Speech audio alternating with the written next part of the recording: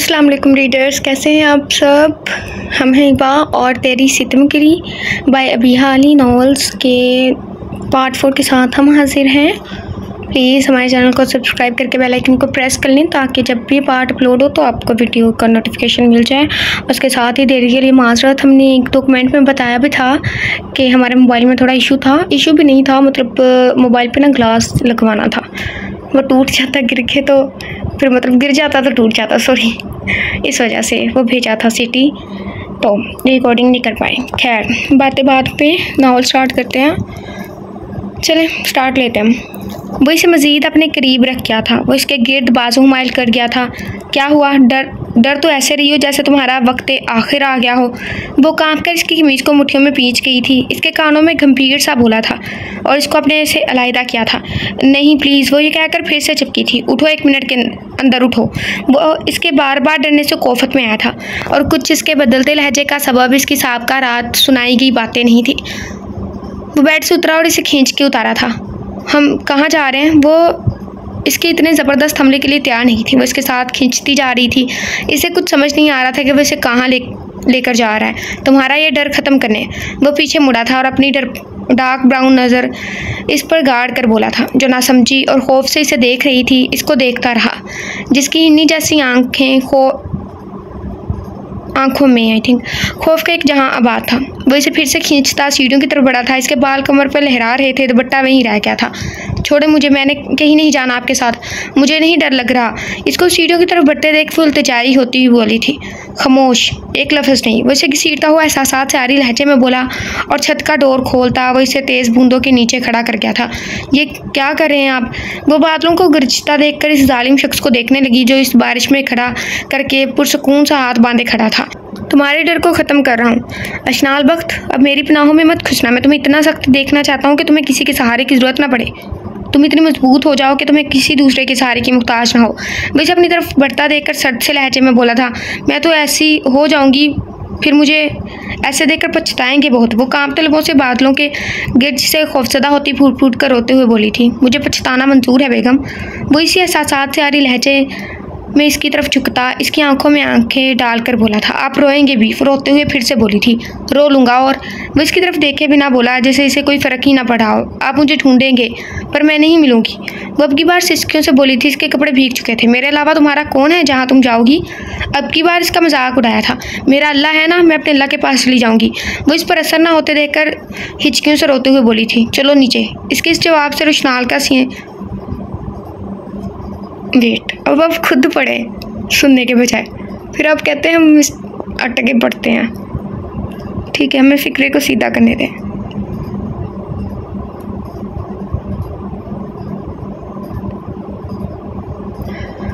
इसके, इस जवाब से रशनाल का पत्थर दिल हिलकर रह गया था।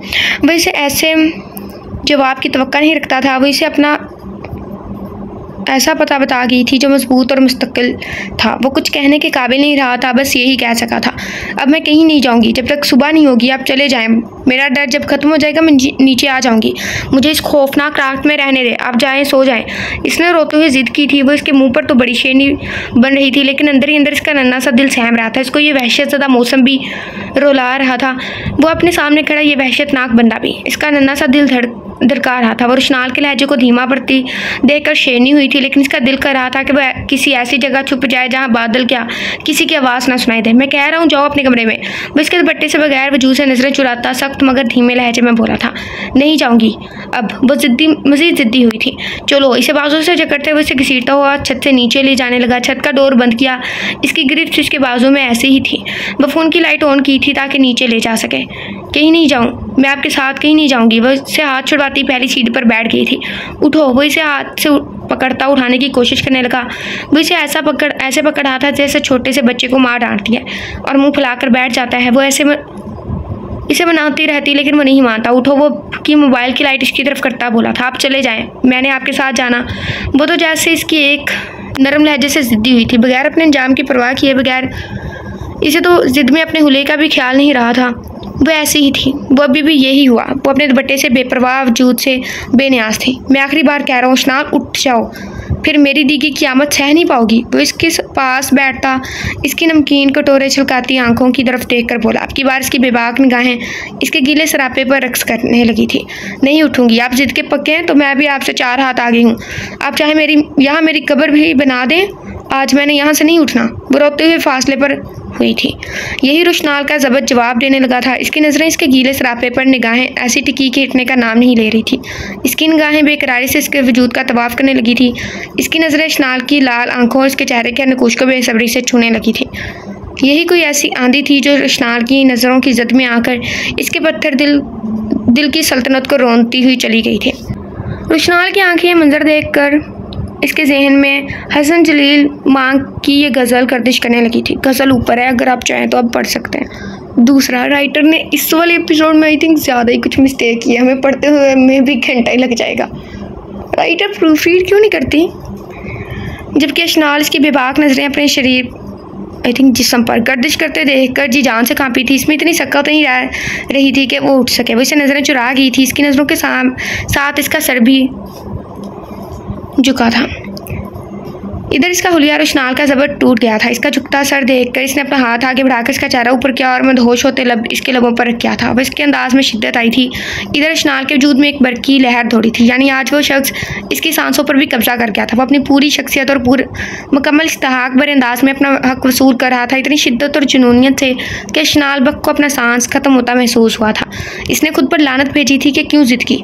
अपनी ज़िद का अंजाम इसे मिल गया था। वह शख्स आज इसकी सांसों पर सांसों से आ गया था। वह रोने लगी जब इसकी थोड़ी सी हल्की गिरफ्त देखकर अपनी सांसों को मुतवासन करती, इसे पीछे दे, धक्का देकर अंधाधुंध भागी थी, जबकि पीछे रुशनाल गुस्से से आवाज़ें देता रह गया। वो रोते रोते कमरे में आई और वाशरूम में घुसी थी और रगड़ कर लब साफ़ करने लगी थी। इसे इसका यह दिया क्या प्यार नहीं लगा, बल्कि एक ज़िद सी लगी थी। वो इसीलिए नहीं रो रही थी कि वह अपनी ज़ात की तजलील के लिए रो रही थी। यानी जब चाहे इसे हक वसूल कर लेता और जब चाहे इसे धुतकार देता। वो इतनी बेहरमा थी क्या? इसे प्यार अपनी जगह, लेकिन वो इसकी दोगली शख्सियत शख्सियत से थक कर फैसला और खुद से अज़म कर उठती उठ कर दूसरा लिबास तब्दील किया था। महारानी साहिबा, उठकर काम करो। मैं तुम्हारे बाप की मुलाजमा नहीं हूँ, जो हर वक्त काम करूँ। समीना बेगम इसे उठाती हुई बोली थी, आपने मुझे खुद कैद किया हुआ है इस कमरे में। क्या ये बात भूल गई आप? वो तब कर बोली थी। जो तुम्हारी हरकतें थी ना, वो तुम्हारे तायाब और तुम्हारी खाला को पता चल गई चल गई हैं। वो रोज़ मुझे बातों में चलाती हैं कि तुमने कितनी गलत हरकत की है समीना बेगम का सबका रवैया इसे बताया था, जिन्होंने इसे एक किस्म का इन्हें कमरे में कैद कर रखा था। वो आज और जब ससनाल का पता लगे लगेगा, वो तलाक तो तुम्हारे मुँह पर मारेगा। समीना बेगम खदशे के तहत बोली थी। तो क्या आप इसे बताएँगी? मिनाल हसना का सोचकर डरी। और माँ से जवाब तलब करने लगी थी। मुझे तुमने बेवकूफ़ समझ रखा है। मैं नहीं, इसकी माँ इसकी माँ बताएगी इसे। ये तुम्हारा अपना कसूर है। अब बीच में मुझे मोदर इल्ज़ाम मत ठहराओ। खाला जान ने आपसे खुद कहा कि वो स्नाल और आगा को बताएँगी? प्लीज़ बताएँ। वो माँ की बात सुनकर रूहान सी होती हुई बोली, तुम्हारी खाला जान का रवैया बता रहा है कि वो कुछ ना कुछ करेंगी, क्योंकि इसके दिल में शनाल के लिए हमदर्दियाँ जाग रही हैं। मेरी बहन होकर वो हर वक्त इस कलमोही की बातें करके मेरा दिल चलाती रहती है। वो कलमोही तो बड़ी नसीब वाली निकली है, इस दिन तो नहीं, तू नहीं थी, लेकिन कैसे वो इसकी साइड ले रहा था, जैसे इसके लिए जान भी दे देगा। और तेरी खाला कह रही थी कि वो शनाल और शनाल को ले आएँगी। वो दिल जलाए, जलाती कह रही थी। सच्ची, वो एक्साइटेड हुई थी। क्यों तेरा भी इस कलमूही के लिए प्यार जाग रहा है? जहाँ फिर से अशनाल याद आ रहा है, गोया इसके हक में बोलने वाला तो समीना बेगम को जहर ही लगता था, चाहे फिर वो सगी बेटी ही क्यों ना हो। हमें तो ऐसा लग रहा है कि ये भी इसकी सगी बेटी नहीं है। कैसी बातें करती है मतलब अपनी बेटी के साथ? ज़रा नहीं लगता। नहीं नहीं इसको कल मुँह मत कहें, मेरे दिल पर चोट लगती है। इसका मासूम चेहरा मुझे याद आता है, वो मुझे याद आती है। इस पर दिए गए इल्ज़ाम याद आते हैं। मैं इस पाक लड़की पर इल्ज़ाम लगा कर डिप्रेशन की मरीज़ हो गई हूँ। वो बेड पर बैठे रो पड़ी थी। और नसीब तो रब ताला की ज़ात लिखती है ना। मैं कहती हूँ, अल्लाह पा, अल्लाह ताला इसके नसीब अच्छे करे, दुनिया जहाँ की नेम पे इसे अदा करे। वो आज अपने बहन के प्यार में बोल रही थी, क्योंकि अब वो तनहा होती तो इसे शनाल, इसका मजूम चेहरा इसकी मस्तियाँ शिद्दत से याद आती थी। वो अल्लाह से रो रो कर दुआएँ मांगती थी, लेकिन अब इसकी बहन की कमी पूरी नहीं होती थी। हाँ आखिर है तो अपने बाप की बेटी जितना भी प्यार करो, सांप की तरह ढसेगी तो सही ना? वो ये कहती, इसको कोसती निकल गई, जबकि मिनाल पीछे तकिए से टेक लगा कि वो सोचने लगी कि अल्लाह ताला इसे कैसे माफ़ करेगा। इससे पता था, जब अल्लाह के बंदे से खफा थे तो वो रब भी इससे खफा था, क्योंकि वह रब जब नाराज़ होता है तो किसी को ज़िंदा ज़मीन में नहीं गाड़ता और ना ही आसमान से पत्थर बरसाता है, वो बस सजते की तोफ़ीक छीन लेता है, दिलों पर मोहर लगा देता है और दुनिया में गर्क करता है, क्योंकि ये अजाबों के लिए बदतरीन अजाब है। वो मैगज़ीन पढ़ रही थी, जब ये बातें इसके जहन में, इसके सामने आई थी, वो काँप कर रह गई थी और कितनी देर हिल ना सकी। जब दिमाग सोचने के काबिल हुआ तो उठकर वज़ू किया था और इतना इसे खौफ महसूस हुआ वह मसल्ले पर बैठ गई बैठ गई थी। कुछ देर बाद जब वो नमाज़ पढ़ कर आई तो इसे अपना चेहरा इतना पुनू लगा कि वो अंदाज़ा नहीं कर सकी कि ये रब की एक मिनट में कौन सी ऐसी नवाजिश है। लेकिन इसके जहन में सूरत रहमान आई थी। तो तुम अपने रब की कौन कौन सी नियमतों को झुठलाओगे? हमारा अल्लाह इतना मेहरबान है कि हमारी इबादत और तकवा को हमारे चेहरे से ज़ाहिर कर देता है, मगर हमारे गुनाह सारी दुनिया से पोशीदा रखता है। जबकि वो अल्लाह का करम अपने चेहरे से देखकर पुरसकून हुई थी। वो नमाज़ पढ़कर फारूक हुई जब इसे स्नाल की भी शिद्दत से याद आ रही थी, क्योंकि इसको समझने वाले बाला पिछले तीन दिन से गायब था। इसे नींद का ऐसा तवीज़ देकर वो ऐसा गायब, ऐसा गया था कि फिर इसे नज़र नहीं आया। वो इसको दिलो शिद्दत से सोचने लगी थी। वो आज जल्दी उठा था, नमाज़ अदा की और लैपटॉप पर काम करने लगा। जब रात का मंजर सामने आते ही इसको एक लतीफ़ से एहसास ने छुआ था। इसके घने नाबी लबों ने खूबसूरत मुस्कान नाबी लबों को एक खूबसूरत मुस्कान ने छुआ था। वो इसके नशे में ऐसा खोया कि इसे कोई शायद याद नहीं रही थी। वो उठकर इसे उठाए, ताकि वो नाश्ता बनाए और दोनों नाश्ता करके अपनी अपनी वर्क प्लेस पर निकले। इसलिए वो इसके रूम में आया था, अशनाल अशनाल, इसने पुकारा लेकिन इसका कोई जवाब नहीं आया। वो कहीं होती तो जवाब देती, वो कहीं भी नहीं थी। इसने वाशरूम का डोर तो ओपन इसके वाशरूम का डोर तो ओपन था। वो मुड़ने लगा जब इसकी नज़र पेंसिल के नीचे कागज़ पर पड़ी तो वो हैरान के लिए मुड़ा था और उठा कर पढ़ने लगा। मुझे पता है ये पढ़ने के बाद आप गुस्से में होंगे। मेरे जाने से आपका इंतकाम अधूरा रह जाएगा, लेकिन मैं भी इज़्ज़त नफस रखती हूँ। अपनी बार बार तस्वीर नहीं सह सकती माजरत लेकिन मैं आपको समझ नहीं सकी क्योंकि आप दोगली शख्सियत वाले इंसान हैं। मैं आपको हाकम कहकर पछताई थी, लेकिन आप सच में हाकम हैं। आप समझते हैं कि आप मुझ पर हक रखते हैं, लेकिन मुझे समझ आ रही है कि आप अपने नफस की तस्कीन की तस्कीन के लिए मेरे पास आते हैं। आपने मुझे इंसानों की तरह तो ट्रीट नहीं किया, इससे ज़्यादा मैं कुछ भी नहीं लिख रही। क्योंकि आप पे कौन सा असर होने वाला है? क्योंकि लिखने वाला अपने एहसास समझ कर लिखता है और पढ़ने वाला सिर्फ़ लफ्ज़ समझ कर पढ़ता है। इसलिए मैं अपने अल्फाज आया नहीं कर सकती। हाँ ये कहना चाहूँगी, आपको कसम है कि आप मेरे पीछे नहीं आएँगे। मैं जहाँ भी रहूँ, आपको मसला नहीं होना चाहिए। आपको इसकी इसकी कसम जिससे आप दुनिया में सबसे ज़्यादा मोहब्बत करते हैं। आपको इसका वास्ता मुझे ढूंढिएगा मत। आपकी कोई भी चीज़ चुरा कर नहीं लेकर जा रही अपना घर देख लीजिएगा। हर चीज़ आपको वहीं पर नज़र आएगी। जो पैसे दिए हैं, वो मैं तकिए के नीचे रख कर जा रही हूँ। रिश्ते वहाँ मुकम्मल होता है, होते हैं, जहाँ तकदस एहतराम और मोहब्बत हो। ये तो निकाह वाले दिन तय था कि मुझे आपसे बिछड़ना था। इससे आगे इस, इसकी हिम्मत नहीं हुई थी। इससे आगे शायद रोती रह रही थी। आगे के लफ्ज़ मिटे हुए थे। इसके आँसू से बस नीचे लिखा हुआ था फ़क्त लावारिस, बेहरमा, बदनसीब, तनहा, इशनाल कबीर, वक्त। आखिर में लावारिस लिखा हुआ था, जबकि इसका खत पढ़कर वो लिफाफा हाथ में पकड़े बेड पर गिरने वाले अंदाज में बैठ गया था। तो क्या वो ये समझती थी कि वो सिर्फ़ अपने दिल की तस्कीन के लिए इसके पास आता है? इसका खत पढ़कर एक बेरहम आँसू इसकी पलकों को तोड़ता, इसकी हल्की, बड़ी दाढ़ी में जज्ब हुआ था। वो वास्ता भी भला किसका देकर गई थी? अपना। और वो कहती थी कि वो कुछ भी नहीं अपने साथ लेकर जा रही। हाँ वो लेकर गई थी। इसकी सबसे कीमती शय, दिल ले गई थी। वो इसे अपना ही वास्ता देकर तनहा कर गई थी, यानी कि वो इसे ढूंढ ना सके। वो घर से तो कुछ भी नहीं चुरा कर लेकर गई थी, लेकिन इसके जिसम से गोश्त का टुकड़ा तो साथ ले गई थी। यानी इसका दिल, इसने तय कर लिया कि वो इससे ज़्यादा ही छोड़ देगा। वो खाली जहन लिए ऑफ़िस आ गया था। दिमाग ने जैसे काम करना बंद कर दिया था, लेकिन वो रुशनाल बख्तानाओं की रियासत का मशहूर बादशाह था। अंदर से मुकम्मल टूट गया था, इसका दिल खाली हो गया था। इसका दिल जैसे नोहे कर रहा था, लेकिन इसके चेहरे से सख्ती का खोल नहीं टूटा था। वह मगरूर था और मगरूर रहना पसंद करता था। लेकिन वो कांच की गुड़िया सब जब से इसे छोड़ कर गई थी, इसके अंदर खलिश सी रह गई थी। इसकी मासूम हरकतें इसे बड़ी बुरी तरह याद आ रही थी। जब वो ज़िद से हर बात मनवाती थी। वो ये मीठी यादें सोचते सोचते मासी में चला गया। मासी, ये कौन है चाचू? चौदह साल रुशनाल ने कबीर साहब के साथ खड़ी अंबर चाची के बाजू में ग्रीन वाली बच्ची को देखते हुए सवाल किया, ग्रीन वाली बच्ची कौन सी होती है? वो इस वक्त की बात थी जब वो पापा के साथ इनके घर गया था। ये ये मेरी प्रिंसेस है। कबीर साहब नीचे झुकते हुए इसके गले मिलते हुए धीमी से मुस्कान से बोले थे प्रिंसेस तो क्राउन पहनती है, इसके हेड पर क्राउन तो नहीं है। वो उलझन भरे अंदाजे अंदाजे में इस खूबसूरत और गोल मटोल आँखों वाली बच्ची से बोला था, मैं क्राउन वाली प्रिंसेस नहीं हूँ, मैं तो अपने बाबा की प्रिंसेस हूँ। अशनान इसको देखते गुस्से से तोतली जबान में बोली थी हाँ हाँ ये मेरी छोटी सी प्रिंसेस है। इसके मासूम गुस्से से फूले हुए सुरख सफ़ेद चेहरे को देखकर कबीर साहब ने हँसते हुए अंबर से लिया था, बाबा ये कौन है? अशनाल ने अपने नन्हे छोटे छोटे हाथों को कबीर साहब के गाल पर रखते हुए पूछा था बेटा ये आपके भाई हैं आपके सुपरमैन सुपरमैन है इन्हें पता था कि वो इस, इसे नहीं जानती और ऐसे सवाल तो करेगी? वो इसकी गाल पर प्यार करते हुए बोले थे। फिर इसके बाद वो छोटी सी बच्ची इसकी आँखों का तारा बन गई रुशनाल शुरू से समझदार बच्चा था। वो हर दूसरे वीक में चाचा के घर जाता था चूँकि चाचा अपनी यूनिवर्सिटी फ़ेलो से शादी की थी तो आगा जान इनसे बहुत नाराज़ थे। इनकी बस एक शर्त थी कि कबीर साहब अगर अंबर को तलाक दे तो फिर ही इस घर में कदम रख सकते हैं। इसके बाद उन्होंने भी घर में दाखिला नहीं रखा था। दोनों घरों का आना जाना ममनू हो गया था, लेकिन सगीर साहब भाई की मोहब्बत में दौड़े चले जाते थे। भाई की मोहब्बत इनके लिए बहुत मायने रखती थी, जबकि रुशनाल अशनाल इस हद तक अटैच हो गया था कि इसे अशनाल के अलावा दिखता ही नहीं था। वो जब भी आता इसके लिए चॉकलेट लेकर आता था। और वो इसे अपना सुपरमैन समझकर हर शय की फरमाइश करती थी। और वो इसका मान रखता भी था। भाई, मुझे आइसक्रीम ना, नहीं, मुझे, मुझको नहीं पता, आप अभी ला कर दें। वो जब इसके घर आया, जब वो रोते रोते इसके हाथ पकड़कर फरमाइश कर गई थी प्रिंसिस ऐसे नहीं रोना आपने। मैं अभी ला कर, ला रहा हूँ। अब इधर बैठो। इसकी आँखों में इससे आँसू बर्दाश्त नहीं होते थे। और इसको वहाँ चेयर पर बिठा कर खुद निकला इसके लिए पाँच मिनट में आइसक्रीम लाया था। इसके बाद रुशनाल वक्त के लिए वो हर चीज़ से लड़ गया था। आई थिंक अशनाल वक्त के लिए। पार्क में जब वो इसे लेकर गया था, इस वक्त वो सोलह साल का था और अशनाल चार साल की थी। एक लड़के के हाथ से गलती से पत्थर अशनाल के सर पर लग गया था, जिससे इसके सर से खून आने लगा। वो अशनाल को करीब ही हॉस्पिटल में लेकर गया था। इसकी ड्रेसिंग करवा कर इसको घर छोड़कर फिर पार्क पार्क में आई थिंक, ताकि वो शनार के सर पर लगे पत्थर का बदला ले सके। लेकिन वो लड़का वहाँ था ही नहीं। वो इसके मामले में खासा शिद्दत पसंद था। दिन गुजरते गए वो बाईस का था।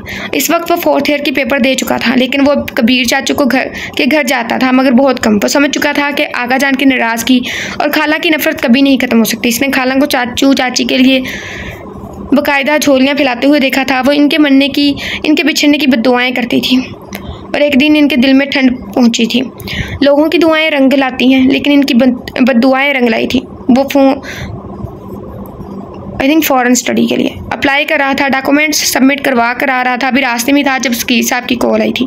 हेलो तुम्हारी चाची और चाचू का एक्सीडेंट हुआ है फ़ौरन हॉस्पिटल पहुंचो। उन्होंने अपने लहजे पर कंट्रोल पाते हुए कहा था, बाबा, सब कुछ ठीक तो है ना?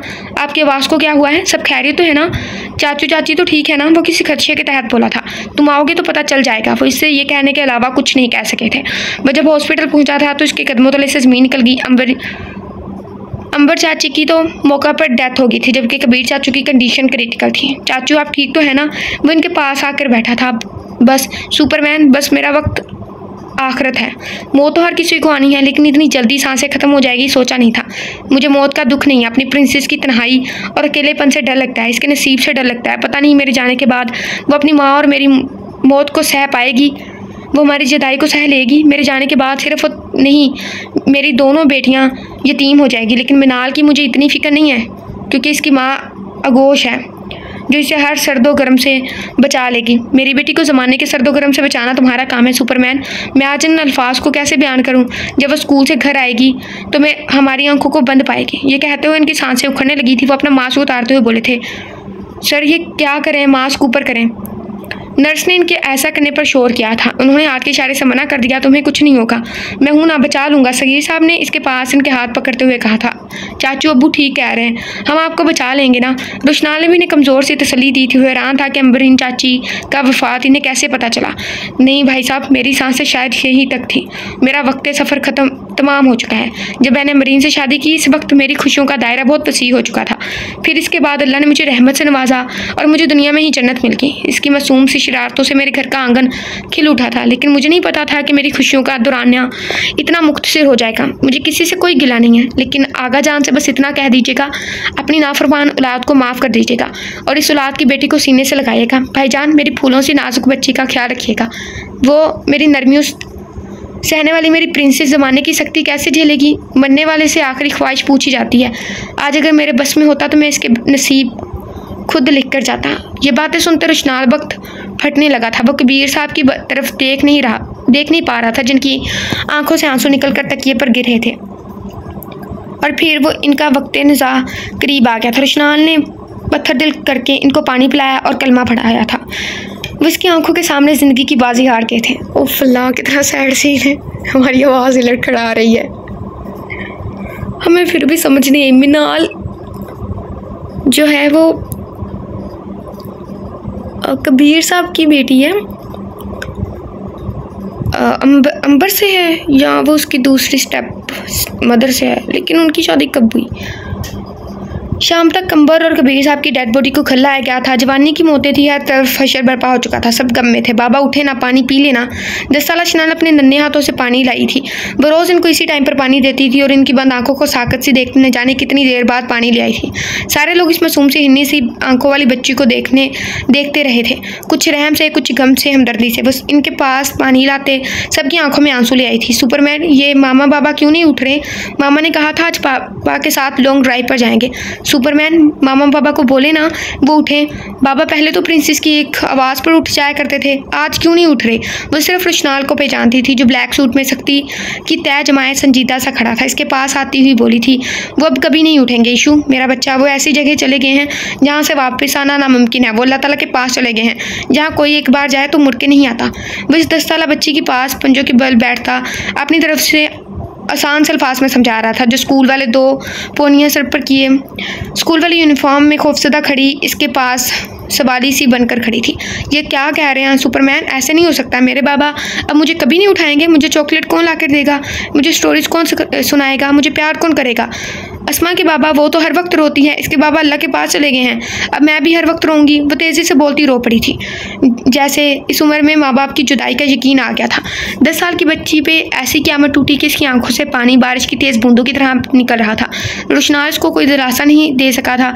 बस इसके गम को देखता शिद्दत से इसे साथ लगा गया। अब उसके साथ लगी, रोने लगी, जबकि तहमीना बेगम गमजदा दिल के साथ इसके माथे को चूमती हुई ले आई थी। और फिर वो इनको खाली नज़रों से देखती, कभी इनके माथे पर प्यार करती, कभी गाल पर। सबको रुला गई थी इसे जैसे समझ लग गई थी कि ये चेहरे फिर नहीं नज़र आने वाले। वो शिद्दत से कभी बंद आँखों वाले बाप के चेहरे को चूमती तो कभी माँ के। कभी एक चारपाई के पास जाती तो कभी दूसरी। आखिर थक कर बाप की चारपाई के पास बैठ गई। आगा जान खाली जहन से हर वक्त, हर तरफ़ देख रहे थे। यह मंजर देखकर तो दुश्मन भी चीख उठते, लेकिन वो तो फिर दादा थे। वो इसे गले लगाना चाहते थे, लेकिन जैसे इनका दिमाग कुछ भी करने से कासिर था। वो जवान बेटी की मौत को कबूल नहीं कर पा रहे थे, वो ऐसे ही बैठे थे, जब इनकी डेड बॉडी को सुपुर्द खाक करने के लिए उठाया गया। इतनी क्यामत और हशर देख वक्त जैसे थम गया था वो समझते, अब वक्त गुजरेगा ही नहीं। माँ बाप के चले जाने के बाद इनकी लाडली उड़ादे रुल जाती हैं और जिनके माँ बाप मर जाते हैं, वो दुनिया की ठोकरों की जद पर आ जाते हैं। वो जो पहले ज़िंदगी को गुजार रहे होते हैं माँ बाप के मरने के बाद ज़िंदगी इन्हें गुजारती है। वो लावारिस हो जाते हैं, जैसे आज अशनाल वक्त हुई थी। इसी तरह गहरे जख्म को हुए तीन महीने गुजर गए थे। सब रूटीन पर आ गए थे। वक्त का काम गुजरना है जैसे भी हो गुजर जाता है। वक्त का कमाल यह है ये जैसा भी हो गुजर जाता है। कुछ पूरे लम्हे हाथ में थमा कर और कुछ अच्छी यादें लेकर। इस टाइम की बेटी को अब यहाँ लाए क्यों लाए हैं सगीर भाई? वो इसके पास आती हुई बोली छुटर के सगीर साहब के पीछे हुई थी। इसकी मनहूस माँ मेरी खुशियों को निकल गई और ये मेरे बेटे के बाप को। वो इसको देखते पागल होते हुए बोली थी बस समी, समीना तुमसे ज़्यादा इस मासूम बच्ची का नुकसान हुआ है। तुम अल्लाह की रजा को मनहूसियत का नाम नहीं दे सकती। सगीर साहब इनका पागलपन देखकर गुस्से से बोले थे। जो खूंखार नज़रों से इनके पीछे होती इशनार को देखती हुई बोली थी, ये इधर ही रहेगी, क्योंकि आधी से ज़्यादा जायदाद इनके नाम है। तुम क्या दुनिया की कोई भी अदालत अदालत इसे यहाँ से नहीं रोक सकती? ये बात सुनकर समीना बेगम कुछ हद तक नॉर्मल होगी, लेकिन इनके दिल में भांपड़ चल रहे थे। लेकिन इनके बाद वो शनाल से सबके सामने तो लाड से पेश आती थी, लेकिन इसे कभी स्टोर में बंद करती थी तो कभी इसे थप्पड़ मारती तो कभी इसका हाथ चला देती थी। तुम और तुम्हारी माँ ने मेरे बाबा को मारा है। तुम सब हो इसके ज़िम्मेदार। मिनाल जो इसे सात, आठ साल बड़ी थी। इसके मुँह पर थप्पड़ मारते हुए बोली थी, आप भी सुपरमैन कहते हैं, आप तो मेरी बहन है। बहनें तो कभी मारती नहीं अशनान मुँह पर हाथ रखे सिसकते हुए बोली थी, तुम जैसी डायन की मैं बहन नहीं हो सकती हूँ। आइंदा अगर इसे ज़बान से कहा तो मैं तुम्हारी ज़बान खींच लूँगी। और आइंदा तुम मुझे रुशनाल के साथ नज़र आई, मैं तुम्हें जला दूँगी। वो इस पर चीखते हुए अपने दिल के भड़ास निकालते हुए चीख रही थी, जिसको माँ ने इसके कमरे में भेजा था। फिर माँ की शह पर वो इसे खूब डराती, ज़रूरत पड़ती तो मार भी लेती थी। हाँ हो, पता नहीं इधर क्या लिखा है, हो हो हो, हा हा हा। मगरब का टाइम था। अशनार ट्यूशन पर था ओके माजरत लेकिन जो लिखा वही पढ़ा, इसमें हंसने वाली कौन सी बात ऐसे ही लिखा है। कोई शायद हंस रहा है। ट्यूशन से वापस आई आई थी सॉरी तहमीना बेगम इसे खाना खिलाती इसकी हर चीज़ का ध्यान वो खुद रखती थी। आज भी तहमीना बेगम इसे खाना देकर गई थी, वो खा रही थी, जब इसे पानी की तलब महसूस हुई, वो दरवाज़ा खोलकर बाहर आई थी, जब इसे एक कमरे का दरवाज़ा खुला था, कोई फुल वाइट कलर के कपड़े पहने आँखों के नीचे सुरमा लगाए, होंठों पर लिपस्टिक लगाए, इसके सामने आते चीख कर बोला था, मामा, बाबा, वो इस ट्रॉनी सूरत वाली मखलूक से डर गई थी, वो ओके, चीज़ों की परवाह किए बगैर भागी थी, इसका नन्ना सा दिल धक धक करा था। सफ़ेद शाल से खुद को लपेटे हुए शैतान मखलूक फिर से इसके सामने आई थी। प्लीज़ जिन भाई, मुझे जाने दें, प्लीज़। जिन भाई। ना, मैं भूतों का, शैतानों का शैतान हूँ।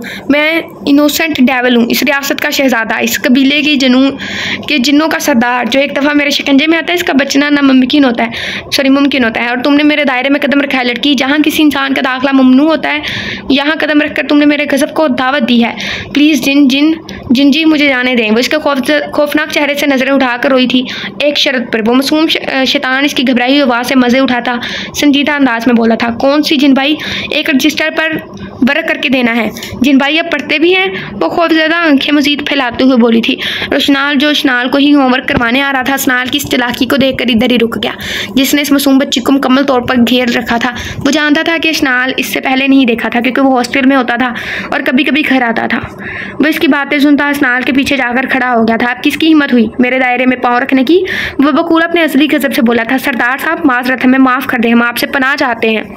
भाई आप पीछे मुड़कर देखा, इतने करीब खड़े डिसेंट डेवल को देखता, वो भागने के चक्कर में था। जब रोशनाल ने इसकी गर्दन के पीछे हाथ करते हुए पास किया था, सुपरमैन प्लीज़ मुझे बचा लें। वो इसकी आवाज़ सुनती डरती हुई इसके पीछे, इसके पास आई, इसके पास आ खड़ी हुई थी। चल बेटा, तू तो अंदर चल, तेरे कबीले के शैतानों की दावत करूँ मैं। एक हाथ से शनाल को पकड़े और दूसरी तरफ़ से इसे गर्दन से पकड़ ले।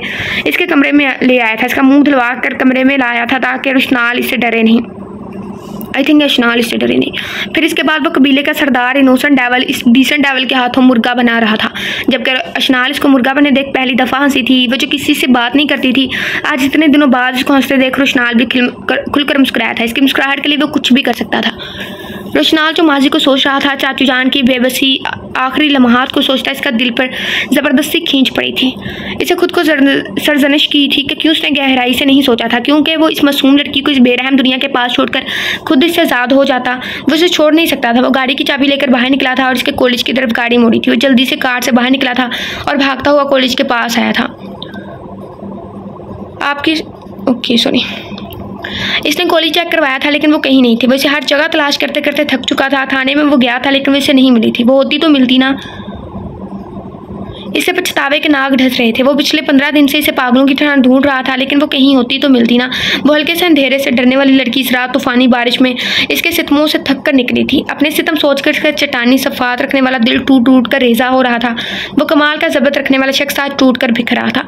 कितने तुम तराक से इसने कहा था कि पछताना इसके सरफेस में नहीं है। इसके अल्फाज में इतनी रौनियत थी, इस रात इसके रोने ने इसे सुकून दिया था, लेकिन अल्लाह ने इसके गरूर को महज एक पल में पाश पाश कर दिया था। अल्लाह ने इसके लहजे की रौनियत, किसी तमाचे की तरह इसके मुँह पर मारी थी। एक रात में इसका गरूर खाक हुआ था, वो इस रात के बाद इसे पागलों की तरह ढूंढ रहा था। वक्त के पास ने इसे एक ही दिन में तोड़ कर रख दिया था, लेकिन ये पछतावे इसे किस किसी फन फैलाते सांप की तरह डस रहे थे। आज वक्त ने सारे दांव उल्टे कर दिए थे। फ्लैट का दरवाज़ा खोलकर वह शिकस्ता कदम लिए अंदर दाखिल हुआ। वो हर वक्त नफीसा रहने वाला शख्स आज बिखरे हुलिये में आया था।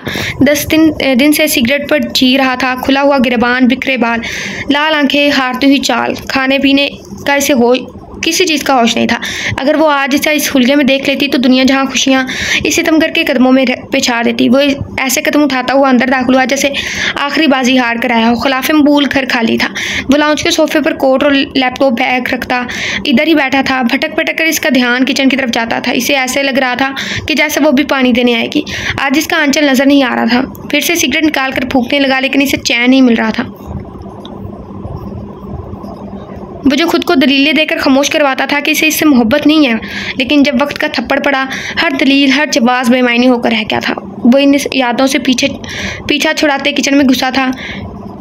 टेंशन से कुछ खाया नहीं गया। अब वो कॉफ़ी बनाने के लिए किचन में आया था, क्योंकि चाय बनाने वाली जो रूट कर चली गई थी, चाय के लिए सामान मुश्किल से निकाल कर कैबिनेट पर रखा और बनाने लगा था। किचन साफ़ सुथरा था। वो इससे डर कर किचन साफ़ रखती थी कि कहीं वो इसकी तजलील ना करे। वो चाय बनाता, इसकी सोचों में ऐसा खोया, ये भी ना पता चल, चला कि चाय उबल उबल कर बाहर आ रही थी।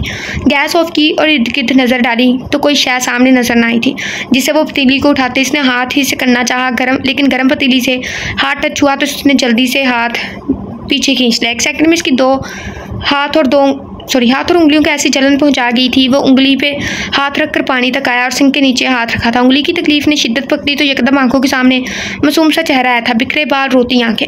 वो चेहरा सामने घूमने लगा था। वो रात एक अजाब की तरह इसके सामने आई थी। वो रात इसके ऊपर किसी नोकदार तलवार की तरह लटक रही थी, जिस रात इसकी गर्दन और कंधों को सिगरेट से जलाया था। आज इसके दर्द को महसूस किया था कि वो सारी रात तड़पती रही होगी। क्या वो सारी रात सारी रात तकलीफ़ में रहेगी? क्या इसे भी ऐसी जलन होगी? वो कितनी रो, रोई कितनी चीख चीखी और तड़पी होगी। इसने इसके दर्द में किस किस को तलाश किया होगा? आज इसके दर्द पर गले में फांस अटकी थी। तकलीफ़ कहने को महज छोटा सा लफ्ज़ है। ये कहने को सिर्फ़ लफ्ज़ ही है। पर जब ये किसी को होती है तो फिर पता चलता है कि ये क्या है। ये ऐसी शय है जब किसी को हो तो हम समझ नहीं सकते। हम सोचते हैं ये क्या है? लेकिन जब खुद को हो ना हम समझ हम समझा नहीं सकते कि ये कितनी है। इसलिए किसी की तकलीफ़ पर मुस्कुराया ना करो, वरना वक्त तुम पर कह के लगाएगा। ये तकलीफ़ आज इसे खुद को हुई थी, इसके दर्द का अंदाज़ा समझ आया था, लेकिन ये तकलीफ़ भी भला भला का जबत देती है। आज ऐसा ही रुशनाल के साथ हुआ था। वो कुछ देर ऐसे ही तेही दामन बैठा रहा, फिर सिंक में बर्तन रखकर रूम में चलाया। रूम खोलते ही दिल में सनाटा उतरता हुआ महसूस हुआ। वो भोजन दिल के साथ इसके रूम में चलाया। वो धीमी और शिकस्ता चलता इसके रूम में दाखिल हुआ था। वो इसके बेड पर बैठ गया था, जहाँ इसका ग्रीन कलर का दुपट्टा पड़ा हुआ था। पेन खुला हुआ, कापी के ऊपर पड़ा हुआ था। इसके ऊपर गिरद जमी हुई थी। वो किस चीज़ से पीछे, पीछा छुड़ाता? इसकी यादें हर तरफ़ बिखरी हुई थी। इसका रोता हुआ चेहरा, इसकी मासूम सिस्कियाँ, इसके जहन में आ रही थी। वो कई साल पहले इस फ्लैट में अकेला रहता था, लेकिन आज यही फ्लैट इसे काट खाने को धो रहा था। वो इसके तस्वुर से निकल ही नहीं पा रहा था। इसके जहन में इसकी आवाज़ तहलील होने लगी। थक हार कर वह सर पकड़ कर बैठ गया। इसके आँसू किसी काले साई की तरह इससे चिमटे हुए थे। याद मासी अजाब है यारब। छीन ले मुझसे हाफसा मेरा। आगा जान, ये लें, आपकी चाय। वो आँखें बंद किए लेटी थे, लेटे थे जब मैं ने इन्हें चाय दी थी। तहमीना और समीना ग्रोसरी का सामान लेने गई थी। वो खाला की गैर मौजूदगी में नीचे आई थी। क्या हुआ आगा जान, आप परेशान क्यों हैं? मैं इनके पास बैठती हुई इनके हाथों को थाम गई थी। बस अपने सितम याद आ रहे हैं। वो अपनी आँसू ज़दा आँखें खोलते हुए बोले थे, क्या हुआ आगा जान, आप ठीक तो है ना? बिन के रोने पर बुखला उठी थी, कुछ नहीं, बस दिल भर आया अपनी ज़्यादतियाँ याद आ रही हैं जिस मासूम बच्ची पर की थी। जैसे जैसे वक्त नज़दीक आ रहा है, पछतावे बढ़ते जा रहे हैं, दिल को सुकून नहीं है। इस मासूम बच्ची की बेबसी याद आती है, मैं कितना कम ज़रफ था, इसके सर पर हाथ नहीं रख सका। ज़िंदगी के माहो साल गुजर गए, इस बच्ची से दावत नहीं मिटा सका। हालाँकि इसके यहाँ रहने का भी बहुत बड़ा मुआवजा ले लिया था रुशनाल से। वो भी इस वजह से मुझे दूर, मुझसे दूर हो गया था।